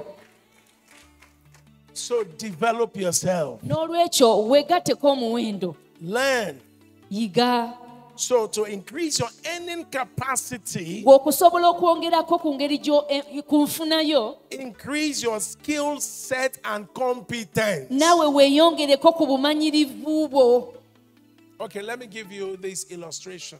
kambagerezeemu kale ku kino Joseph was sold into slavery at the age of 17 years old. yusufu ne bamutunda mu buwambe ng'ali mu myaka kumi na musanvu So he was sold into the land of Egypt. ne bamutunda mu nsi y'e misiri So Joseph did not go to university. yusufu n'atagendako ku kasozi makerere But how was Joseph able to thrive and do well in the house of Potiphar and became the head? naye yusufu yakisobola atya okukola obulungi ennyo n'atuzuulibwa n'okubeera ng'alina okuteekebwa ku ntikko y'abakozi abalala. One thing that came to my mind ekimu ekyanzijira mu birowoozo. is that he must have carefully observed his father and listened to his father's instruction. nze ndowooza ya- yawulirizanga nnyo taata we era n'amuyigirangako bingi Because he was close to his father. kubanga yalinga kumpi nnyo ne yakobo ono When the father sent all the other people to go and sheep and do other things, Joseph stays with, with him. bwe yatumanga abalala bano bonna mugende mu- mulabirire endiga yusufu yamulekanga wano n'abanga naye Learn from people, yigira ku bantu regardless of your age. wadde ng'olina emyaka emeka Study how some people dress well. labayo abantu abamu laba bambala bulungi Study how they talk. Study how they carry themselves, their body carriage. Study their confidence level. And begin to put it in your life. Is someone listening to me? Who taught Joseph leadership? ani yayigiriza yusufu okukulembera banne? Ani yayigiriza yusufu okubeera ng'asobola okukulira ebirala? Ani yayigiriza yusufu okubeera omuweereza omulungi? N'asinga abalala bonna ne be yasisinkana mu nyumba ya potifali n'ayingira ekkomera nabo n'abasingirayo abasibe ne bannannyini lyo. Bino ebintu ani yali binsomesanga He must have learned it as a child, paying, observing attention to information. nze ndowooza ng'omwana omuto yabeera nga awuliriza ng'ateekayo omutima ku biragiro. Ekizibu ekiri ku bantu abasinga temwagala kuyiga You look at your pastor, your pastor comes every Sunday and teach and preach and work. You are not studying your pastor. mw'otunuulira musumba wajja n'ayigiriza n'abaako by'akola Study tolina your pastor. ky'omukopako Learn from your pastors. muyigireko mulabireko byonna mwetegereze Learn leadership, coordination, administration from your pastors. yiga ok- engeri gy'agataganyamu ebintu ne gy'afugamu Did you know that what Joseph did in Potiphar's house was a form of apprenticeship for where he was going? Omanyi nga yusufu byonna bye yakola mu nyumba ya potifaali byalinga ebimuteekateeka eno gye yali alaga ku bwakatikkiro So kati ekyo kitutwala awo You want to acquire certain level of skill, go and serve someone. bw'oba oyagala okubaako we ddala ly'otuuka genda oweereze omuntu oyo akirimu Carry your pastor's Bible, follow your pastor everywhere. goberera musumba wo mukwatireko bayibuli ekisumuluzo kye ensawo So ye that you can learn from him. osobole okumuyigirako bingi People walk with Jesus. They didn't go to school. abantu abatambulanga ne yesu tebaalinnyako mu ssomero But when Jesus left, ne yesu bw'amala n'avaawo the people were like, these people are unschooled. ne abantu ne baga- ne bano abasajja How are they able to speak so confidently and boldly and fluently? naye basobola batya okuba nga boogeza buvumu n'amaanyi ate nga babyogera bulungi And they realized they were with Jesus. o ne bajjukira nti wamma baalinga ne yesu Meaning that when they were working with Jesus, they will watch how Jesus would do things. They era bwe watch how baatambulanga Jesus would naye talk. They will watch baamulabanga how Jesus would behave. enjogera ye And they begin to improve y'abantu themselves. engeri gye yeeyisaamu ne babikoppanga you better improve yourself now we will get to weyongereko. When your pastors are eating watch how they are eating. Bwe baba nga abasumba balya wetegereze balya batya. Watch how they are using the fork and knife and practice it on your own. No balabe akambe ne ne ne, ne foko babikwata batya. Naawe okigezese ewakaawo n'obuti. God has positioned them as a role model. Kuba katonda abatese mu kifo ekyokubeera abantu abalabwako. In your places of work observe how your managers are handling things. Eyo ku mulimu gy'okola wetegereze manager akola atya ebintu bye Learn from them. How does your MD behave? A- md akola atya ye ebitabo byabikola atya Pick the good things from them and add it to yourself. Bajjeeko ebirungi byeyongereko So that when you're in that position, you can do well. naawe bw'onootuuka mu kifo kyekimu ojja kukola obasinge n'obasinga So to increase your earning capacity, increase your skill set and competence. kati gwe okwongerako ku nfunayo ku nnyingizaayo weeyongereko obukugu Be good at your job. beera mulungi ku mulimu gwo Don't show any sign of laziness. tolaga kabonero ka bunafu konna Don't show negative attitude. tolaga na mutima omukyamu But maintain a positive mental attitude to work. naye beera n'omutima omulungi eri omulimu guno ng'olaga nti ogwagala Identify the talents that God has given you. zuula talanta katonda ze yateeka mu ggwe And sometimes you might have to use your talent at work. ebiseera ebimu oyinza weetaaga okuteekamu ne talanta yo ku mulimu ogwo gw'oliko So you can either work for someone oyinza okuba ng'olina gw'okolera or you can be self employed. oba ayinza okuba nga gwe mwennyini nga gwe weekozesa Put your 100% into whatever you are doing. buli kyonna ky'okola kiyiweemu kikumi kikumi oku- eh, kikumi ku kikumi That's why the Bible says that, yensonga that bayibuli egamba whatever you do unto man, do it as unto the Lord. nti buli kyonna ky'okolera omuntu kikole ng'akikolera katonda Oh, some of people say, My boss is wicked. abamu kubemuga ne bosi wange musajja I will mubi not put my best in this job. nze sisobola na kuyiwawo mubiri mu mu mulimu This guno job will not prosper. Akalimu tekalina gye kalaga When that job goes down, you lose your job. naye manya nti bwe kaggwa naawe omulimu guggwawo So that's being stupid. ekyo kati oba That's where you're making your money from. eyo gy'ojja ssente zo And you are saying, I will not put in my best. naye oli mugamba nze sisobola nakumala biseera byange mu ebyo I will not put in my talent. nze siteekamu talanta yange yonna mmala biseera awo My boss is ripping me off. omusajja oyo ali bukuzi You will end up becoming jobless. ojja kumaliriza tolina mulimu nno anywhere you are working, wonna yonna gy'okolera put in your best. yiwawo omubiri kikumi ku kikumi Work faithfully. kola mu bwesigwa Don't cheat your organization. tobba kitongole mwokola Be punctual at work. beera jangu mu budde ku mulimu Do your task very well. n'emirimu gye bakuwadde gikole bulungi In due season, God will promote you. mu kiseera ekituufu katonda ajja kulinnyisa amadaala Praise God. mukama yeebazibwe Praise God. mukama yeebazibwe So it's important to improve yourself. kikulu nnyo gwe okweyongerako Proverbs chapter 10, verses 4. Za- eh, engero He said, Idle hands make one poor, but diligent hands bring wealth. engero sula kumi olunnyo lwokuna ayavuwala oyo akola n'omukono gwe n'omukono oguddiridde Hard workers get rich. ayavuwala oyo akola n'omukono oguddiridde naye omukono ogw'obunyiikivu guleeta obugagga Hard work. Because sometimes people don't know when you talk about hard work. I run business. I, I only sleep for four hours a day. Ntuulira essaawa nnya zokka olunaku nze My schedule is about 100 hours a week. ne kati sikedu yange endaga essaawa kikumi mu wiiki Business and ministry. So I sleep four hours every day. kati buli lunaku ntuula essaawa nnya That means I work 20 hours a day. kitegeeza nkolera essaawa abiri olunaku So that's how you do it. You've got to be pulling because a time will come when I will not be able to work as hard as this. ayebaka essaawa nnya kati naakolera essaawa abiri kitegeeza olina okuba munyiikivu mu byokola But now I need to work hard neetaaga okukola I kati get to that stage, I'll be resting. nti mwe ntuuka eyo gye njagala okutuuka many ntumula kubanga buli gye nsize ssente wajja kuba wandeetera ssente. But some of you now are sleeping and sleeping and sleeping. naye kati abamu ku mmwe weebaka ne weebaka ne weebaka. When you sleep eight hours a day, bw'oweebakira essaawa munaana olunaku essaawa omunaana olunaku when you are 60 years, ng'olina emyaka you have slept for 20 years.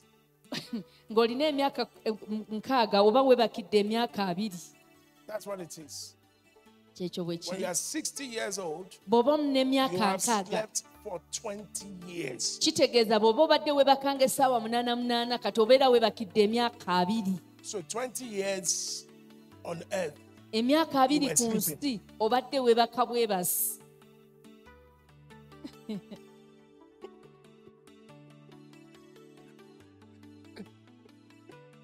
So some of you will even sleep more than eight hours. abamu muziyisaawo 12 n'omunaana ne 13 weebakayo hours. kumi kumi na ssatu weebakaemu ozukka kumi na bbiri That's why there's a saying, and I always tell people, y'ensonga lwaki waliwo ekigambo ekigamba nti you can be physical somebody's age mate physically, omuntu emyaka gye but in real sense, naye mu buliwo omuntu bw'aba yeebaka essaawa ntonoko kitegeeza oyo mukulu okusinga. Because he has spent more time on earth doing things while you are sleeping. Kubanga bo bamaze obudde obusinga nga balina bye bakola nga ku nsi naye nga gwe weebase So watch the way you sleep. weegendereza engeri gye weebakamu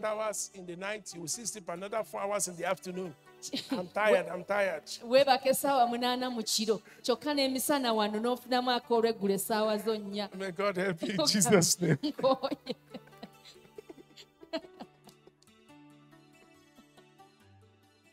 So, managing wealth is a hard work. banaye okukuuma obugagga tukola nnyo. bw'otakyusanga neeyisaayo obugagga bujja kubuuka buveewo bugende bufumuuke. Praise God. So, walking is important. So, someone will say, Pastor, Reverend, I have, I have graduated, I've graduated, I have this but I can't get a good job. waliwo ayinza ogamba reverand nze no nafuna empapula namalako naye si- siraba mulimu I was in that position several years ago. naliko mu kifo bwe kityo ng'ekyo mu myaka emitono emabega I made several applications, I couldn't get a job. nga nteekamu okusaba kwange eruyi n'eruyi nga sifuna mulimu I had a good grade. nali nkoze bulungi I was like, what is happening? ne ŋŋamba oba ki ekigenda mu maaso Then God said to me, mukama n'aŋŋamba write a book. Wandiika akatabo So I wrote a book, What Do You Do When You Don't Have a Job? Ne- nga kagamba ah, kalina omutwe ogugamba okola ki nga tolina mulimu I titled it Crossing the Hurdles of Life.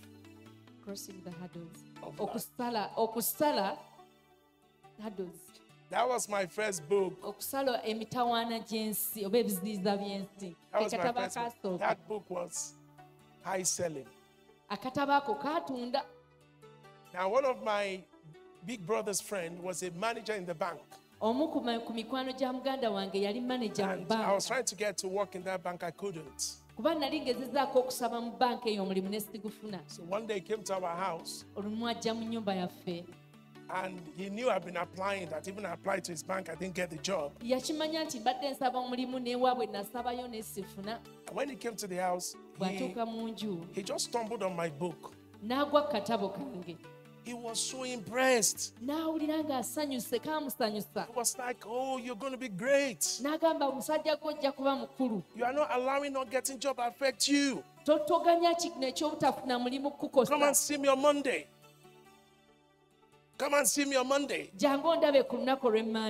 Jangu ondabe ku lunaku olw'emmande I went to a service on Monday. ne ŋŋenda nga bwe yali He gave me huge amount of money. n'ampaayo omu- omusente omunene Because he said, I read your book. I was blessed. I am challenged. I am inspired.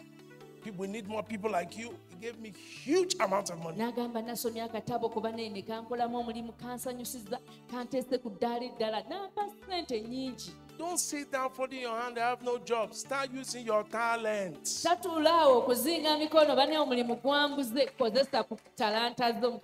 If you can sing, start singing. If you can talk, start talking. Become MCs. Start doing MCs in programs.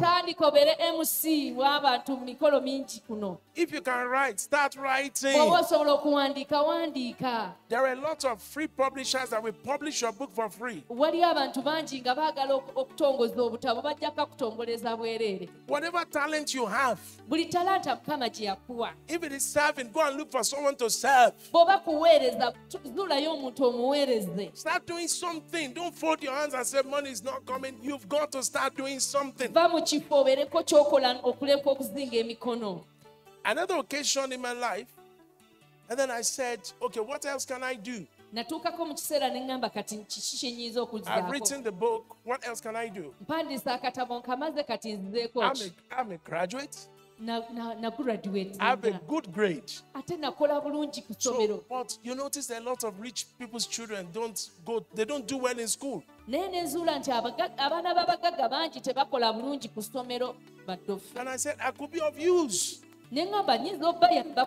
So I spoke to some of my friends, people I know. Do you know of any rich family that is, their kids are not doing well?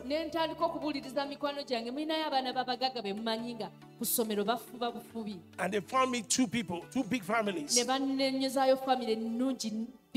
So I went to meet the parents and said, I can teach your kids and they will have better grades.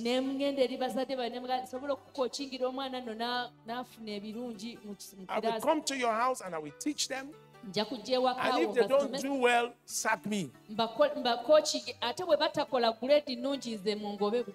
That was how they gave me the contract. So I started teaching them maths, English, biology, because I'm a graduate, so I could read and I could do it. I started teaching them. And money was coming. Sente nga bansasula from two sides. nga maka abiri gaali gampa So, and the good thing is this I'm anointed. ate ekirungi kiri nti ndiko amafuta So, because I'm anointed, olw'okuba nga ndiko amafuta without much effort, one of the kids jumped from grade D to grade A. The father said, It is you we want. You are not going anywhere. So it is not so much of what I was teaching now, it is because I am in their house. So the girl's performance went up. Okusoma kwabwe ne kulinnya omwana amagezi ne gajja So, money was coming. From their recommendation, somebody said, "Ah, There's this school that needs a part time teacher. I said, No, because I'm a pastor. I need my free time. Okay, I could do part time. I'll come in when I can come in. And this is my kusobola." rate. and that they agreed we'll pay you this. So, now, so I started making money from three places, two, two, two rich families, and one part-time school. And the money I was making was as much as those working in the bank. And yet I was freelance. I had my time.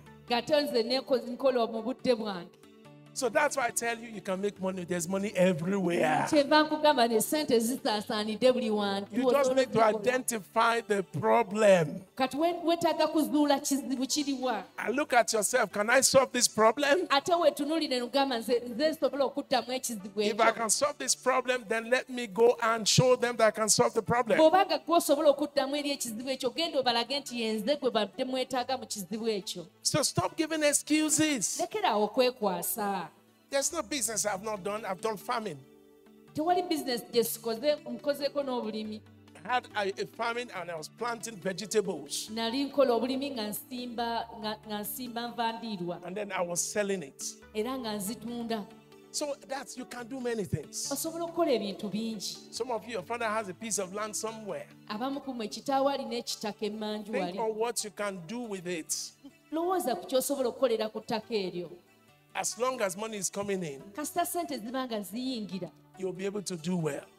ojja kuba oyita oli bulungi So stop giving excuses. lekeraawo okuba n'ebyekwaso Challenge your excuses naawe we- soomooza ebyekwaso ebyo byonna by'olina so you can walk. osobole okukola Several years ago, when the first church I pastored, there was there was a brother that came.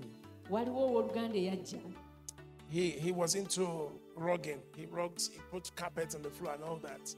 Yate- yalinga mu mu zikafeti So and he has learned the trade and there was no job. There was no breakthrough. Nothing was happening. yali mu- yali mu mu bintu ebyo naye nga tewali kubotola nga talaba kyajalaga So when we got our building, we were trying to rug the, the, the building. Bwe twali mu kizimbe kyaffe naffe ne twagala okukiteekamu So he came, he said, Pastor, I can do it. n'agamba musumba nsobola okikola ekyo But the quotation he gave us was too much. naye bwe twamugamba nti wandiika kola bajeti yakola nnene He wanted to make all the profit from us at once. Yali aga- amagoba gonna ge yasubwa edda agakola omulundi gumu ku ffe I would say, bro, we're not going to give you this contract. we gave it to another person who was much cheaper. So I thought the brother would not come back to church. But what he did really shocked me. On Monday after service, I got into church. I saw this man was in church. He was cutting all the grasses in the church. Na- na- najja mu kanisa nagenda okuzuula omwami ono yali a- gwe twawuma omulimu ng'asala muddo gwa kanisa gwonna ng'agusaawa Cut everything, swept the n'alimalima church, n'asimu n'ayera washed the toilets, n'ayoza e- came into the church building, cleaned the whole church. I kept watching. Then he kept doing it. He kept doing it. Before we knew it, his heavens opened. Kati bu- mu kutemya kwa liiso enzigi ze ne He ziggulwawo came to give testimony of how he landed a big breakthrough. Na- bw'atyo n'afuna okubotola okw'amaanyi From there, I learned a lesson. okuva awo nayiga The first place every child of God must be employed is God's house. kati omwana wa katonda omulimu gwonna gy'olina okusooka okuweebwa omulimu He gwe wano mu created ya job for mukama himself in God's house. yeetonderawo omulimu mu nnyumba ya mukama You cannot be employed by God and men will say no to you. Kati tosobola kubanga katonda yakuwadde omulimu omuntu omuntu yenna n'akugaana So he gave himself job in God's house and his heavens opened. ah, It's a spiritual thing. Some of you don't know. That's why you need to come and do something in church, clean the church, wash everywhere, kya the mwoyo Go to pastor's house, clean the pastor's house. Say, Pastor, I'm coming to clean your house. genda ewa musumba omugambe nzize kwoleza ngoye nakusiimula nakwoza nakukola byonna Give yourself job in God's house so that He can open your heavens. weewa omulimu mu nnyumba ya mukama asobole okukugulira ebituli eby'eggulu Serve faithfully in the church. weereza mu bwesigwa mu kanisa If you are in the choir, sing well. bw'oba mu kwaya yimba bulungi If you are in media, serve well. bw'oba mu midiya kola bulungi Whatever you are doing, just do it well. Mu buli kyonna ky'okola ekikole bulungi God will reward you. katonda oyo ajja kuwa empeera It's a reward of those that diligently seek His face. Ya- y'oyo awa empeera eri abo abanoonya amaaso ge obutakoowa Because God will not owe any man. So if you are serving in His house, bw'oba oweereza mu nnyumba God ye Ah, tewali agenda mugamba nti katonda naweereza mu nnyumba yo n'otampa na mukisa. So he will bless you. But the scripture says, God shall not owe any man. So when you are serving in God's house, it's just a matter of time. Your wage will come empeera ye egenda But the kujja problem with a lot of people is they want it now. naye ekizibu ky'abantu bakyagala nkeera But as a matter of fact, it's not the day you start working that they pay you. naye nga mazima gali nti si bw'omala okukola toweebwerayo You work for 30 days. At the end of the month, they pay you. okolera ennaku asatu ne bakuwa omusaala So God has His own payment scheme. It might be three months, it might be one year, but He will pay you.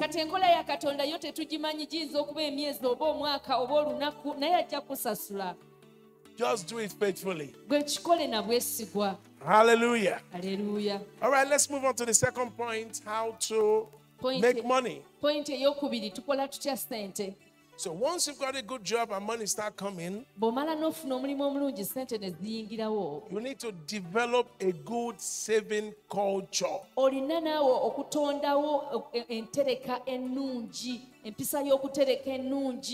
Olina naawe okutondawo entereka ennungi empisa y'okutereka ennungi Remember what saved Egypt during the time of famine was they had a good saving culture. ekyayamba misiri mu biseera eby'enjala nti baalina empisa ey'okutereka eyali entuufu What is a good saving culture?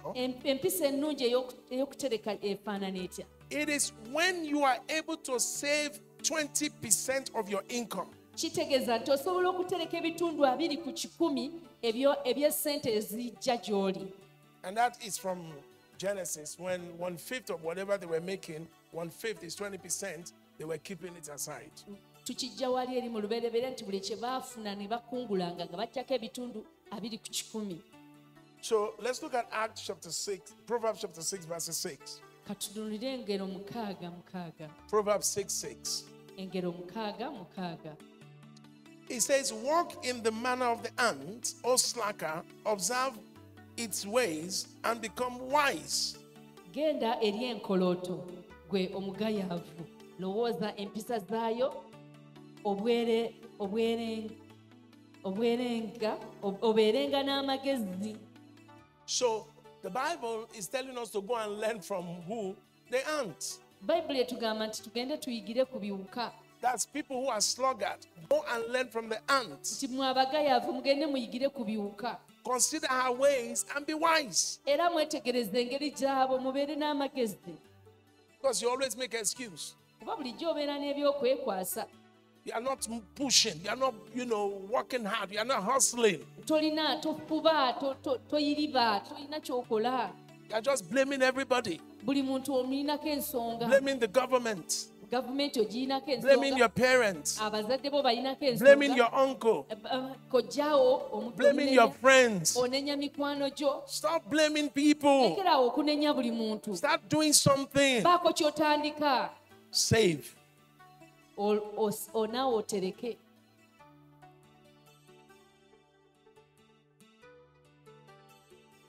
If for example you start saving a certain percentage of money for example, we, we looked at our sister that said she could do 50,000 shillings. katugeze singa otandika okutereka omutemwa gw'essente kati nga mwanyinaffe yatugambye emitwalo We realized that in three years, in five years, she could make three million.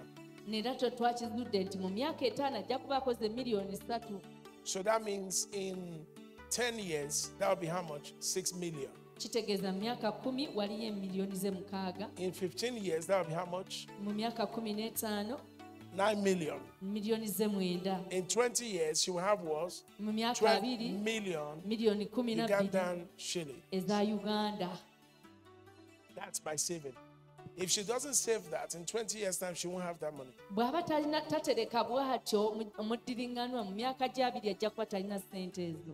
Now, did you know that when you save 50 well, let me not use pounds, 50 Ugandan or 50,000 Ugandan shillings, wali okitegeddeko nti bw'omala n'otandika okutereka emitwalo for a newly born baby ng'om- ng'om- ng'omwana omuto yakazaalibwa in a compound interest, nga waliwo n'amagoba agavaako Because one of the things you must understand is when you are saving, you have to look for the bank that will give you good interest. kankubulire bw'oba otandise okutereka mu banka olina onoonyayo banka ejja kuddiza amagoba amalungi So you look for you don't just put your money and walk away because there's interest that come. tosulayo sente oveeyo naye kuba wabeerako amagoba agajjirako Are you getting my point? So that interest can help you. amagoba ago gakuyambako You know, so when you put your money, you know, instead of putting your money in a check account or current account, you put it in savings. mu kifo ky'oteeka sente zo ku akawunti eri etambula amangu ziteeke mu sevingi So the compound interest, kati amagoba ago agavaako when the baby reaches the age of 25 years old, omwana ono gwe waka- gwe wazaala ng'otandika okusevinga bwaweza ba- emyaka abiri mu etaano. the baby we have bebi waffe oyo gwe tulina 500 million Ugandan shillings. bebi oyo ajja kubaayo ne sente miliyoni bitaano at 50,000 ng'os- nga tusevinze emitwalo etaano etaano egyo buli and mwezi with compound interest. nga kuliko n'amagoba ge tubaliddeko Do you understand? okitegeera Did you know that if you turn your money you spend on soft drinks kankugambe nti singa sente zo zikwata n'ozi- z'obadde osaasaanya n'oziteeka ku byokunywa every day, there are people that buy Coke every day. Waliwo abantu nga gwe kasoda kakubeeramu buli lunaku They say it's not a lot of money. It's just how much is Coke? Is it 5,000? 1000 1,000 Uganda Uganda. So you buy Coke 1,000, it's not expensive, it's 1,000. You buy it every day. That is 30,000 Ugandan shillings that you've spent without realizing. kitegeeza nti mu omwezi oba oguze kakookako kaguze mitwalo gi esatu gigudde wali emitwalo esatu gigudde buli mwezi even buy for your friends. Ah, omanyi n'okugulira mu mikwano gyo n'abaana it's not a lot of money. kasita ka lukumi One of my pastors abasumba bange bonna told us a story. batubulira olugero He said they change every time they go by. I've tried it too. You know, sometimes when you go back, you have some coins left. omanyi bw'ogenda okugula wabeerawo obwo bukingi obufikawo So he got a little bank, container in his house. So he's an American. Every little cent that comes in, he was just putting it there. All those monies that were coming, all those coins, you know. By the end of one year, he was shocked how much he would have lost. He realized that that that bottle, that thing he had, that basket, yeewuunya nti aka kabakuli ke yalina ke yali asuulamu ebikoyini he had gathered 55,000 US dollars. yali akuŋŋaanyizza emitwalo etaano n'ekitundu egya ddoola which would have been thrown away. gye yandibadde ng'agabira obugabizi abantu Because you know, people don't like spending coins. amanyi abantu bangi tebaagala kusitula koyini mu nsaawo And it was like he was so thrilled with himself. yeewuunya nnyo ne yeekanga And he used the money to go and buy a Hummer Jeep. n'agenda n'agenda n'akozesa sente ze okwegulirayo jipu empya That's how people waste money. If you look at that's why I want you to do a financial review. yensonga lwaki nagambye genda ddemu So, so when you come tomorrow, come and tell me where your money goes. jangu ombuulireko sente zo zibadde zitaasaanira wa And we will tell you how much money you have wasted. ne nze nsobole okukubuulira sente meka z'oyonoonye Please make sure you do it on a piece of paper. munyambe nti okole ku lupapula So it's important you identify banks that give good interest rates or if things that they do, like all these um, bonds. Is it bonds that that you can put your money in for 90 days and then it will yield? You know, so it's finding those things. The, the compound interest rate will build up for you. kakasa ng'ozuulayo banka egenda gyogenda otereka naye nga amagoba gaazo malungi So look for high interest savings account. era ofune akawunti ng'eriko amagoba ga waggulu Okay, is that are we making progress? Tuye- tweyongerayo bannaaye So train yourself to save money. Weetendeke okutereka sente control your expenses. E- engeri gy'osaasaanyaamu kekkereza Another thing that people also waste money on is Uber. abalala ba- boonona sente ku ku- Or ku maybe ntambula a place that is just like boda. 10, 15 minutes walk that you can walk down, you pick Uber. Aya- ayagala watambulira eddakiika essatu ayite uba emutwaleyo special You could have just walked down. It's good for your body to walk. osobola otambula okuva wano paka ku mukaaga you will lwaki put- otumya you uba will spend that money on Uber. sente ezo n'oziwa You're wasting money. Oh, oyonoona sente teekamu amafuta g'ebiri paka kajjani Do you get that? Oh, okifuna ekyo All right, so develop a good saving culture. kati tugambye Alright. nti obeera n'empisa ennungi ey'okuseevinga So now you must now let's talk a little bit about budgeting. Katukole katwogere ku kya baj- Budgeting is one of the main ways of controlling your spending. bajeti y'engeri entuufu emu eye- egenda okuyambako obutasaasaanya nnyo in order for you to have something to save. gw'osobole okuba ng'ofissaawo essente ez'okutereka So, budgeting allows you to create a spending plan. Kati bajeti ekuyambako okubeerawo ne pulaani ey'okuba for your money. okusaasaanya ssente zo It ensures you will always have enough money for all the things you need and the things that are important to you. ejja kakasa nti olina ssente zonna ze weetaaga ku lw'ebintu ebikulu gy'oli So, work out your budget.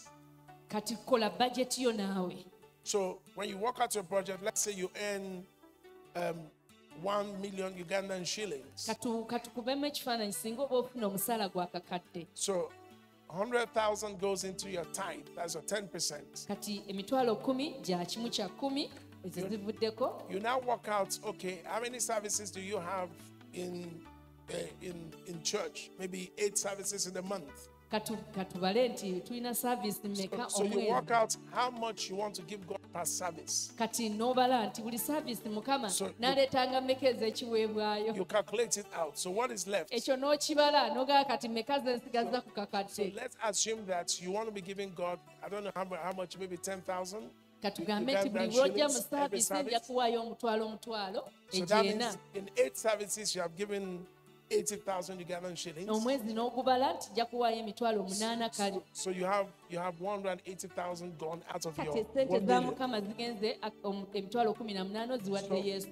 maybe your rent your rent should not be more than 400000 ugandan shillings. Kati renti wo gwafuna akakadde tezirina situuka mitwalo ana so and then you look at your transport. How much do i have to spend on my transport? Kati ku byentambula bino omusaasaanya mmeka? Food and bills. Fu- emmere n'amasannyalaze mazzi ebyo you work it out. So when you are doing the budgeting bw'oba okola bajeti yo you can now say oh maybe if i do this oga- oyinza ogamba "Ah, bwe nkola the money will not be enough. So you can say okay you cannot do anything about your tithe your tithe is your is fixed by God. So you can say, well, I cannot afford 10,000 Ugandan shillings every service, but no. I'll give 5,000 Ugandan shillings every service.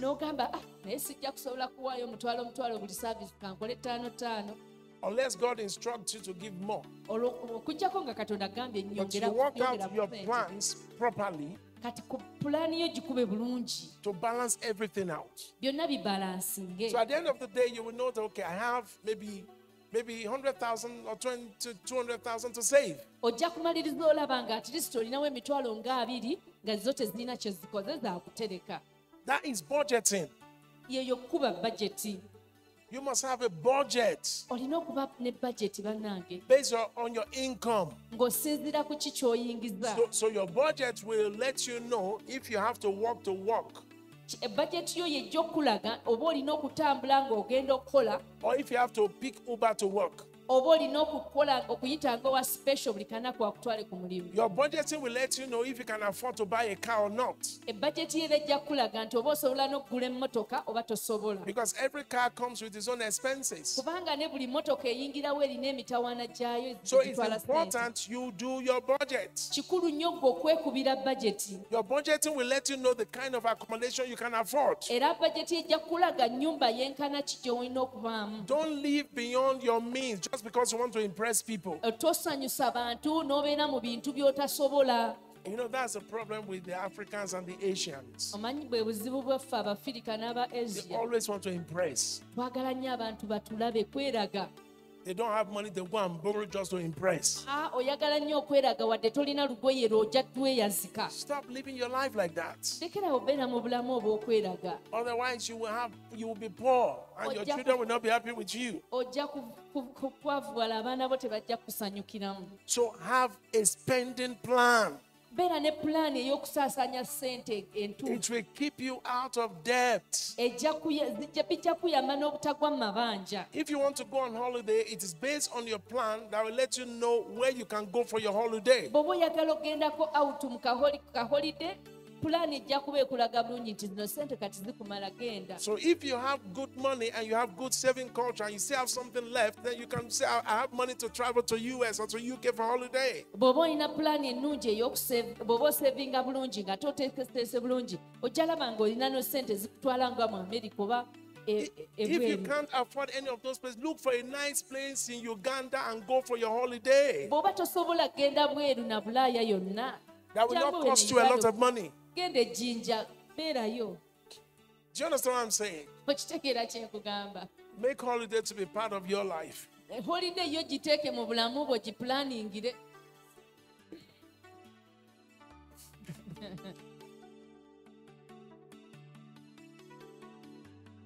Proverbs 21, verse 5.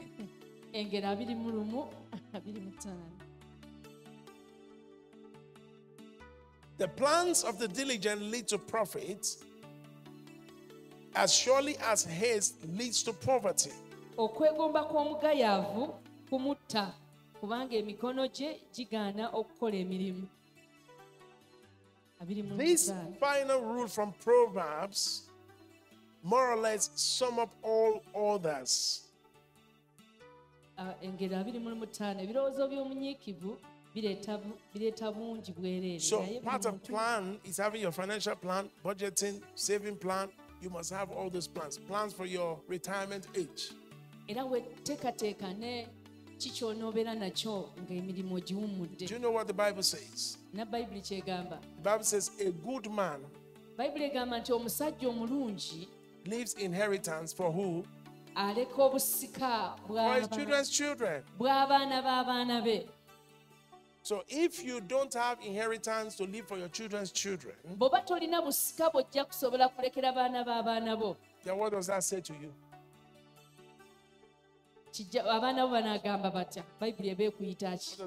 He that cannot provide for his family is worse than an infidel yenkanankananga n'oyo atakkiriza So it's a sin if you cannot provide for your family. bannange kiba kibi kive nnyo kubanga tosobola nakulabirira bantu b'amaka go I was trying to explain this to this in, in my church some months ago. That, that some of you are wondering why God said a rich man or a good man will leave wealth for his children's children. I said, because while the man is alive, his children, he will train them, he will set them up that the children will be doing well. They will not put their eyes on his wealth because they are already doing well on their own right. So it is the kids, the, their own kids, their children's children that are just coming up that would inherit that because their own children are doing well. ekyo nali kinnyonnyola abantu b'omu kanisa baffe nga ŋŋamba nti omusajja omugagga bw'aba ne sente ze abaana be abateekamu sente nabo ne ne babeera nga bafuluma okukola ebintu byabwe kati bano abazzukulu be bajja osikira bino ebya jjajjaabwe kuba olina okugaggawala okusinga ku kitaawo lwaki otunuulira ebintu taatawo ate by'akoze? Is someone getting that metrics what God is trying to show us there?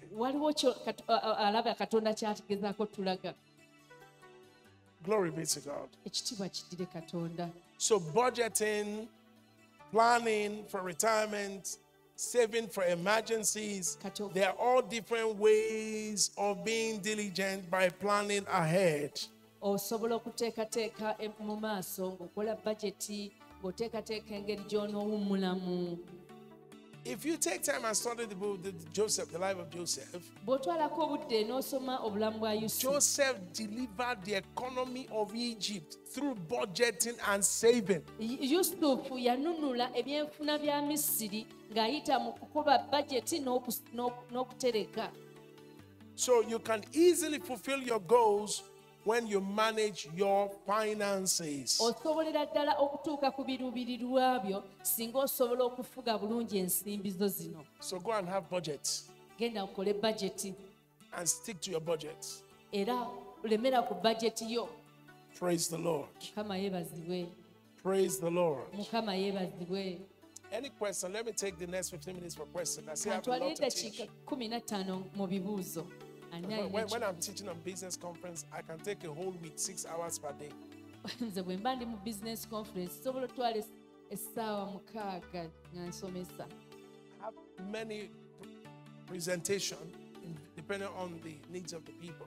nina eh, nina ebyokusomesa bingi kusinziira ku ku bwetaavu bw'abantu And I'm just on one of them. ndi kwesooka So now I can take your question if you have. Nsobola okufuna ebibuuzo bwe bamuyina There is one.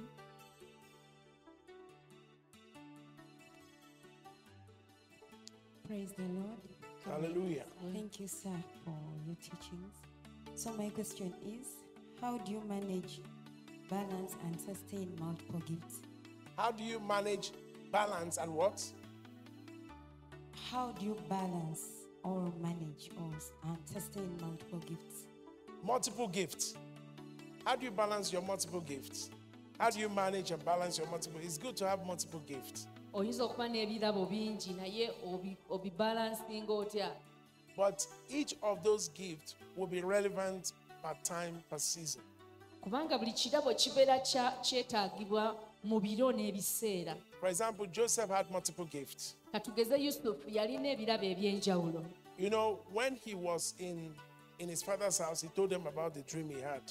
bwe yali mu nnyumba ya kitaawe yababuuliranga ku birooto So he had the gift of dreaming. yalina ekirabo ky'okuloota But when he was in Potiphar's house, he did not use that gift. bwe yali nnyina mu nnyumba ya potifaali ng'ekirabo takyasobola kikozesa ekyo Did you notice that he didn't have any dream in Potiphar's house? oki- oki- osobola okijjukira nti teyalootayo kirooto mu nnyumba ya potifaali But what he used in Potiphar's house was the gift of administration and leadership.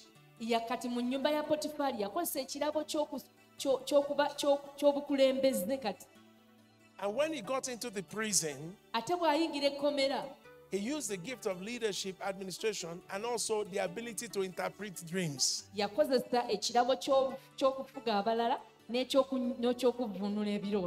that was why he was able to interpret the dreams of the, the baker and the butler. yensonga lwaki yasobola okus- ekirooto ky'omusenero So you need to keep sharpening each of those gifts. olina okozesa ebirabo ebyo byonna When the need arises, you will know which one to use. Nge- obu- o- obwetaavu bwe bujja ojja mmanya ekirabo ki kye weetaaga kati okukozesa wano Are you getting it? okifuna And then when he got before the same gift that helped him in the prison Interpreting that dream mu kkomera okuvvuunula was also what helped him to get to Pharaoh. kye n'okutuuka eri falaawo But when he had finished using the gift of interpreting the dream to Pharaoh, he went to another gift of counseling.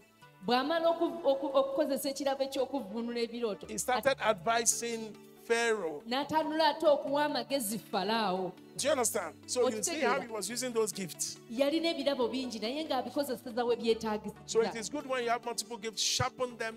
Make sure you are good at each gift.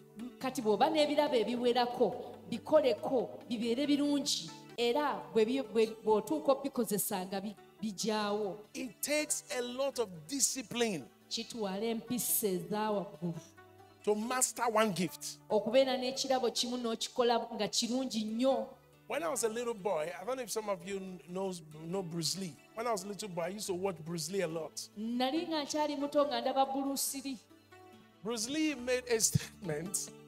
bulusiri n'agamba He said, "I fear the I fear someone who has mastered one kick ten thousand times than someone who has mastered ten thousand different kicks." nze ntya omuntu nga amastarinze kiiki emu ng'agikozesa emirundi lukumi okusinga oyo alina kiiki lukumi nga tasobola zimastaringa bulungi Because he has taken time to master one kick ten thousand times. kubanga ye yali atutte obudde okuba nga amastaringa kiiki emu emirundi omutwalo So what omulamba is that telling us? Be skillful and master of one of your gifts. Kyentegeeza nti beera n'obukugu era omasitalinge ekimu ku kirabo kyo nga kirungi ddala So you see, some people will say, Well, I have the gift of healing. Amanyi amatwalizo ogamba nti "Eh, nina ekirabo ky'okuwonya naye ng'ate te- tebannakikugukamu I have the gift of speaking in tongues. ze They're not masters at speaking in tongues. They have the masters of what other gift do we have in the Bible? The gift. Give me the gifts that we have in the Bible. Miracles. And they can't perform one miracle. Naye nga tebakolangayo n'eki They have the gift of word of knowledge. balina ekirabo eky'ekigambo eky'amagezi And then they are guessing. ng'ate bateebereza They have the gift of interpretation of tongues. nga balina ekirabo eky'okuvunula ennimi You know, I tell people, I said, listen, if you have the gift of interpretation of tongues, you don't make it up in your mind. You will hear the language. M- nagamba abantu nti bane bw'oba n'ekirabo ekyo It's like the way you are hearing me now. So when somebody is speaking in tongues, you are hearing what the person is saying, not like you are cooking it up in your mind. tokifumbira mu mutima gwo n'otufumbafumba oba owulira olulimi olwo nti kati ayogera lujapaani agambye bw'ati Because somebody said, uh, we were in a church, they said somebody was speaking in tongues, waliwo omuntu ali mu kanisa nga lwayogera mu nnimi and somebody said, this is what the man of God was saying. n'agamba "Ha, endowooza ya mukama bweti bweyogera bannaayo okuva mu oyo ayogera mu Another person said, this is what the Lord was saying. ne wabaawo agamba omulala nti kyekino The three of them were saying three different things. naye ng'abasatu bonna bayogera byanjawulo So we now asked them that, how did you come up? He said, this is what the Lord told me. I said, no. ne mbuuza omu If you have the gift, you will hear. okitegedde otya kino If- okiwulidde as you are mu mutima hearing me now, is it God that is telling you? Is it not me that is talking? Ne- And you can hear what I'm saying. So if you have interpretation of gift, it's not God that will be telling you in your heart. You will be hearing what they are saying. olina okuba n'obusobozi obuwulira ekyo oli kyayogera mu nnimi The people, when the people, they, they, if the first uh, disciples were baptized in the Holy Ghost and they were speaking in tongues, and men were hearing their languages, omanye aba- ku- mu kisenge ekyawaggulu they were what? Hearing. bwe baafuna omwoyo omutukuvu ne batandika okwogera mu So if you have the gift of interpretation of tongue, babyogera. and he said, well, as he was speaking, God said, This is what he was saying. You don't have the gift. bw'aba nga osobola kuteebereza buteebereza nti kirabika mukama kino kyagamba gwe tolina kirabo Because if you have the gift, you will hear the language. bw'oba olina ekyo ekirabo olulimi ojja dduwulira So we need to master these things. tulina okukakasa ebintu bino And the reason is because we don't spend enough time praying the right kind of prayer. Ensobi eri nti tetutwala budde bumala okusaba en- entuufu We don't spend enough time worshiping. tetutwala budde bumala kusinza We live in a distracted world. tuli mu nsi erimu ebibuzaabuza There's bingi so much distraction waliwo ebikujja ku mulamwa bingi that people cannot even develop themselves. nti n'abantu tebasobola mu bo kubanga bakakasa ebintu So if you develop your gift, your gift will make a way for you. ekirabo kyo kinaakuseguliza Let's look at the footballers. Ng'abasambi b'omupiira You know Ronaldo. olaba ronaldo You know uh, what's the name of this guy from Cameroon playing for France? Um, what's the name of his? What's his name? Mbappe. mbappe Now those guys are what skillful. abasajja abo bakakasizza ekirabo David Beckham bend it like Beckham mubategeera because they have practice. You have got to practice for you Wait, I to be good. weetaaga okukikakasa n'okukolanga n'o- n'ogezesa nga bulijjo puractice When you are good at what you are doing, the world will look for you. bw'oba mulungi nnyo mu kintu ky'okola ensi ejja kukunoonya So take time to develop your gift, twala obudde okuzimba ekirabo kyo your talent, talanta yo even your communication skills. era n'obukugu bwo mu kwogerezeganya n'abantu Begin to start developing it. tandika naawe okikuza You will be able to speak very well. ojja kuba osobola okwogera bulungi ddala May God bless you in Jesus' name. mukama abawe omukisa mu linnya lya yesu Thank you very much for your time. Tomorrow we'll be here enkya and we'll take a longer session tomorrow to be able to wrap up. Thank you very much, Pastor Stewart. enkya tugenda kutwalayo akadde akawanvu ddala Deal TV. Learn and earn.